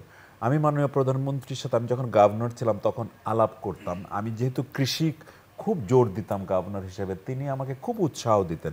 এবং আমাকে একদিন বলেছিলেন তিনি যে, আপনি মনে করেন যে আমি কৃষকের খোঁজ রাখি না? আমারও কিন্তু জমি চাষ হয়। আমি আমি সেই কৃষকরা নিয়মিত আমার সাথে যোগাযোগ করে। কখন সার দিতে হয়, কখন সেচ দিতে হয়, আমি কিন্তু খবর রাখি। এটা একজন, আমাদের জন্য এটা খুবই সৌভাগ্যের বিষয়। আমি বলব, আমাদের বঙ্গবন্ধু কিন্তু খুব কৃষক প্রীতির তার ছিল এবং তিনি বলতেন যে, কৃষকদের চোখ দিয়ে কিন্তু আমাদের দেখতে হবে পুরো বিষয়টা। তো আমরা সেই রকম একটা দেখছি এবং তিনি যে কৃষক কৃষির জন্য করেছেন যত সংকট এসেছে আমাদের দেশে আমার অনেক সময় বাজেট কাট করতে হয়েছে। কিন্তু কৃষকের বাজেট কখনো তিনি কাট করেন বলেন যে না এটাকে উনি ভর্তুকিও বলেন না। ওটা বিনিয়োগ বলেন বলেন যে তাদের জন্য আমার বিনিয়োগ করে যেতে হবে। এখন বিনিয়োগের রকম ফের হতে পারে, যেটা শাইক বললেন, বড় হারভেস্টারে করব না ছোট ছোট মেশিনে করব। এই বিষয়গুলো আসলে যেসব আমরা যারা নীতি নির্ধারক, যারা কৃষি নীতি নির্ধারক, যারা যারা বাস্তবায়ন করছেন, তাদের ভাবতে হবে। তিনি যে কিন্তু ভাবছেন যে প্রযুক্তি প্রযুক্তিকে সমর্থন দেবেন কৃষককে সমর্থন দেবেন তাদের বাজারের সুবিধা দেবেন। এই যে তথ্য যে ডিজিটাল বাংলাদেশের সুফল আমরা তো স্মার্ট কৃষিতে যাচ্ছি স্মার্ট অর্থনীতিতে যাব। সুতরাং তার মতো স্মার্ট নেতৃত্বে যদি আমরা কাজগুলো একসঙ্গে করতে পারি সবাই মিলে তাহলে কিন্তু যেটা শাইক বললেন আমাদের একেবারে আকাশ পর্যন্ত আমাদের লিমিট সুতরাং আমরা যেতে পারব এবং আমরা শুধু নিজেদের জন্য কৃষির উৎপাদন করব তাই নয় আমরা প্রচুর রপ্তানিও করব এবং একটা ডাইভার্সিফাইড ইকোনমি যেটাকে বলে বহুমাত্রিক অর্থনীতি আমরা তৈরি করব এবং আসলে নেতৃত্ব কি জিনিস? তিনি নেতা, যিনি মানুষকে উৎসাহী করতে পারেন, যিনি মানুষকে স্বপ্ন দেখাতে পারেন এবং যিনি স্বপ্নের সমান হবার মতো উৎসাহ দিতে পারেন।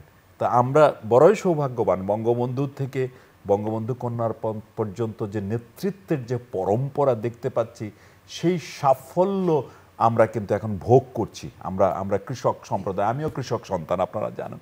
তা আমরা কিন্তু ভোগ করছি।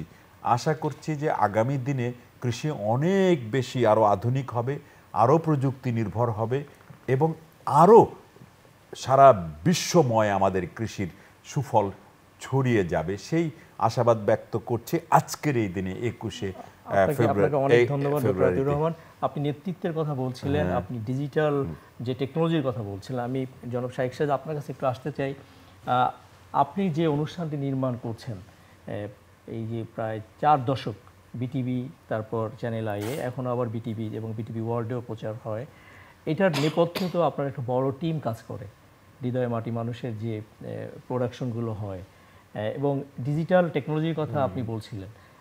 আমার যদি ভুল না হয় প্রথম আপনার ওয়ান মিলিয়ন ফলোয়ার হয় সোশ্যাল মিডিয়াতে এবং সেটা আমরা সেলিব্রেট করেছিলাম। এবং আপনারা হয়তো অনেকে জানেন দর্শক আমাদের যে তারকা মেহজাবিন ও আপনার পরে হয়েছে। মানে এই যে টিমের একটা টিম ওয়ার্ক টিম ওয়ার্ক তো বটেই। যে আমার টিমের সাথে একসময় আদিত্য ছিল আদিত্য তো এখন। চলে গেছে। এখন তৌফিক আছে তারপর জহির মোল্লা আছে তানভীর আশিক আছে রাসেল আছে ভিডিও এডিটর দুজন। নাহিদ তারপর হচ্ছে মশিউর। সবাই মিলেই তো কাজটা করি। তো এটা এর সোশ্যাল মিডিয়াতে বা ডিজিটাল প্ল্যাটফর্মে এটা তৌফিকের অবদান অনেক বেশি এখানে আমি বলব যে দু হাজার চোদ্দোতে আমরা প্রথম ডিজিটাল মিডিয়াতে শিফট করি। কারণ তখন আমরা দেখছি যে মানুষের কৃষকের হাতে হাতে মোবাইল চলে গেছে এবং কৃষকের জীবনের ধরনও পাল্টে গেছে। মানে আগের মতো সে ভোর সকালে উঠেই যে মাঠে যেত তা না। তার পকেটে পয়সা আসছে বলে সে এখন কিন্তু মেশিন দিয়ে জমি চাষ করে বলে সে ওই মোড়ের হোটেলে বসে আটটা নটা পর্যন্ত চা খায়। খায়। সো তার আর মোবাইল টিপে সারা তো তার কাছে যদি আমি টেলিভিশন বাদ দিয়ে মোবাইলে চলে যেতে পারি তাহলে সে আমাকে মনে রাখবে দেখবে টেকনোলজি শিখবে। এটা একটা বিষয়। আর ডিজিটাল বাংলাদেশ সত্যিকার অর্থে যদি না হতো আজকে আমাদের কৃষি এই জায়গায় পৌঁছতে পারতো না। এতে আমি একেবারে গুণাক্ষরে বলতে পারি কৃষক যে পরিমাণ মোবাইলে প্রতিদিন সময় দেয় শুধু ইউটিউবগুলোতে টেকনোলজির জন্যে। বিশেষ করে যারা একটু প্রোগ্রেসিভ ফার্মার কিন্তু আপনার দেখানো টেকনোলজি ব্যবহার করেছেন হ্যাঁ। তো এই এই জায়গাটাতে একটা সম্ভাবনার জায়গা। আমি যেহেতু আজকে প্রধানমন্ত্রীকে প্রসঙ্গক্রমে আসলেন মাননীয় প্রধানমন্ত্রী ওনার কাছে আমি বিনীতভাবে অনুরোধ করব যে আমরা আস্তে আস্তে আমাদেরকে এই ডিজিটাল টেকনোলজির যে আইওটি তারপর ডিজিটাল ডিভাইসের যে সমস্ত প্ল্যাটফর্মগুলো আছে আর্টিফিশিয়াল ইন্টেলিজেন্স তারপর এইগুলোতেও কৃষির সাথে যুক্ত করতে হবে। অলরেডি আমাদের অনেক ফার্ম কিন্তু আছে এরকম. স্মার্ট এগ্রিকালচারে যে গরু পাঁচশো গরু পালছেন আপনি পাঁচশো গরু সবাইকে একটা কৃষক গিয়ে গিয়ে ডেইলি তার দেখভাল করতে পারবে না। তার গলায় চিপ লাগানো আছে তার মোবাইলের সাথে যুক্ত আছে। কাউ নাম্বার থার্টি সেভেন সে খাচ্ছে না নোটিফিকেশন আসলো। দেন দেন অ্যাড্রেস করল। এই সবগুলো কিছু এর মধ্যে নিয়ে আসাটাই ভেরি ইম্পর্টেন্ট ওয়ান শেষ করব একটি কথা। ডক্টর আতিউর বলছিলেন প্রধানমন্ত্রীর কথা। আমি যখন তার ফসলি উঠোন অনুষ্ঠানটা নির্মাণ করি তখন আমি ওনাকে খুব কাছ থেকে তিনটে ঘণ্টা টানা তিনটা ঘণ্টা সেই তিনটা থেকে শুরু করে মাগরিবের নামাজের আগ পর্যন্ত আমরা তার পুরো খামারটাতে ঘুরেছি এবং হেঁটে হেঁটে হেঁটে হেঁটে। তার আগেও মাননীয় প্রধানমন্ত্রীর সাথে আমার একাধিকবার এককভাবেও বসার সুযোগ হয়েছে। যখনই বসেছি আমার সাথে প্রধানত তার কৃষি নিয়েই কথা হয়। কৃষির ভালো মন্দ নিয়ে কথা হয়। তো আমি আমার সেই ফসলি উঠোনে প্রধানমন্ত্রীকে আনতে চেয়েছি যে উনি মুখ দিয়ে বলছেন যে এক ইঞ্চি জায়গাও খালি রাখা যাবে না। ছাদে করো স্কুলের ইয়ে ছাদে করো ফ্যাক্টরির ছাদে করো। তো উনি নিজে করিয়ে দেখেছেন। আমি এই ওনার সাথে কৃষি নিয়ে কথা একটা অনুষ্ঠান করব এই প্রস্তাবনাকে আমি দিয়েছি অন্তত চার পাঁচ বছর আগে কিন্তু উনি রাজি হননি। কিন্তু এত বড় একটা বাগান তিনি ওখানে করেছেন। গণভবনে। হ্যাঁ গণভবনে। তো সেটা কমপ্লিট একটা চিত্র কিন্তু আমরা ওখান থেকে পেয়েছি। আর একজন হিউম্যান বিইং মানে প্রধানমন্ত্রী আমরা শুধু তাকে টেলিভিশন পর্দায় দেখি রাজনীতির কথা বলেন তাই না দেশের কথা বলেন।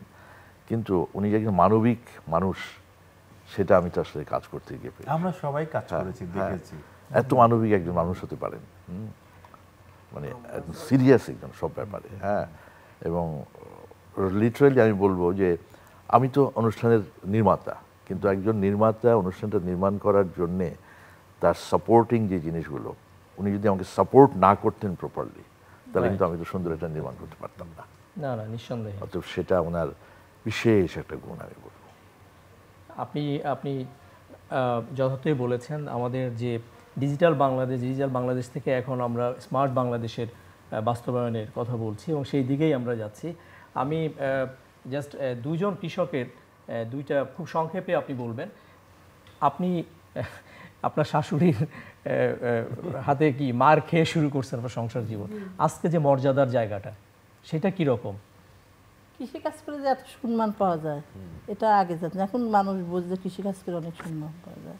আর এটা সম্পূর্ণই সম্মানের আল্লাহ একবরুল্লাহ আর যে আমার দুজন কারিগর আছে একজন আব্দুর রহমান স্যার আর একজন শাইক শাহ স্যার। নাহলে আমি জীবনেও কৃষিকাজও করতাম না আমার মনে হয় দারিদ্রতা সারা জীবন মাননীয়। প্রধানমন্ত্রী করেছে তারপরেও মাননীয় প্রধানমন্ত্রী পর্যন্ত আসার আগ পর্যন্ত আপনারা করেছেন তারপরে গেছেন মাননীয় প্রধানমন্ত্রী অনেক ধন্যবাদ আপনাকে ধন্যবাদ। আপনার আরও সাফল্য কামনা করি।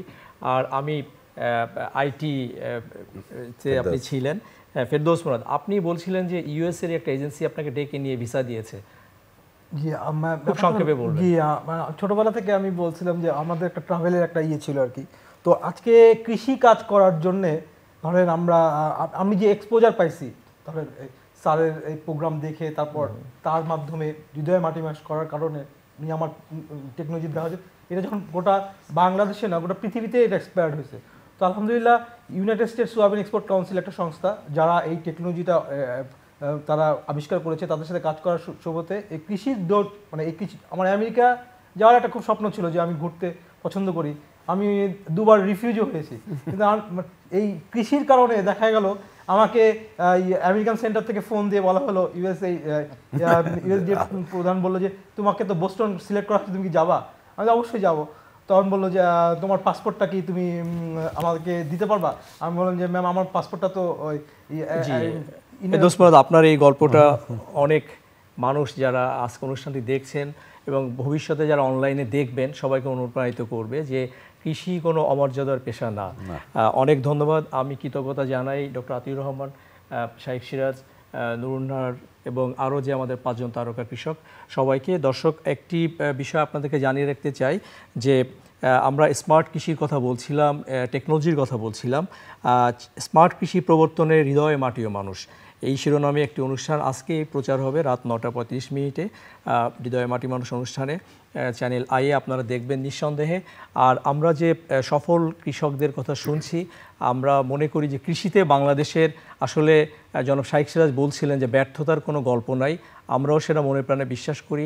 কৃষি পুরোটাই সাফল্যের নাহলে স্বাধীনতার সময় আমাদের এক কোটি টনের থেকে আজকে চার কোটি টনের বেশি খাদ্য উৎপাদন কেউ না খেয়ে থাকে না। আগে আমরা ভাবতাম, কি খাব?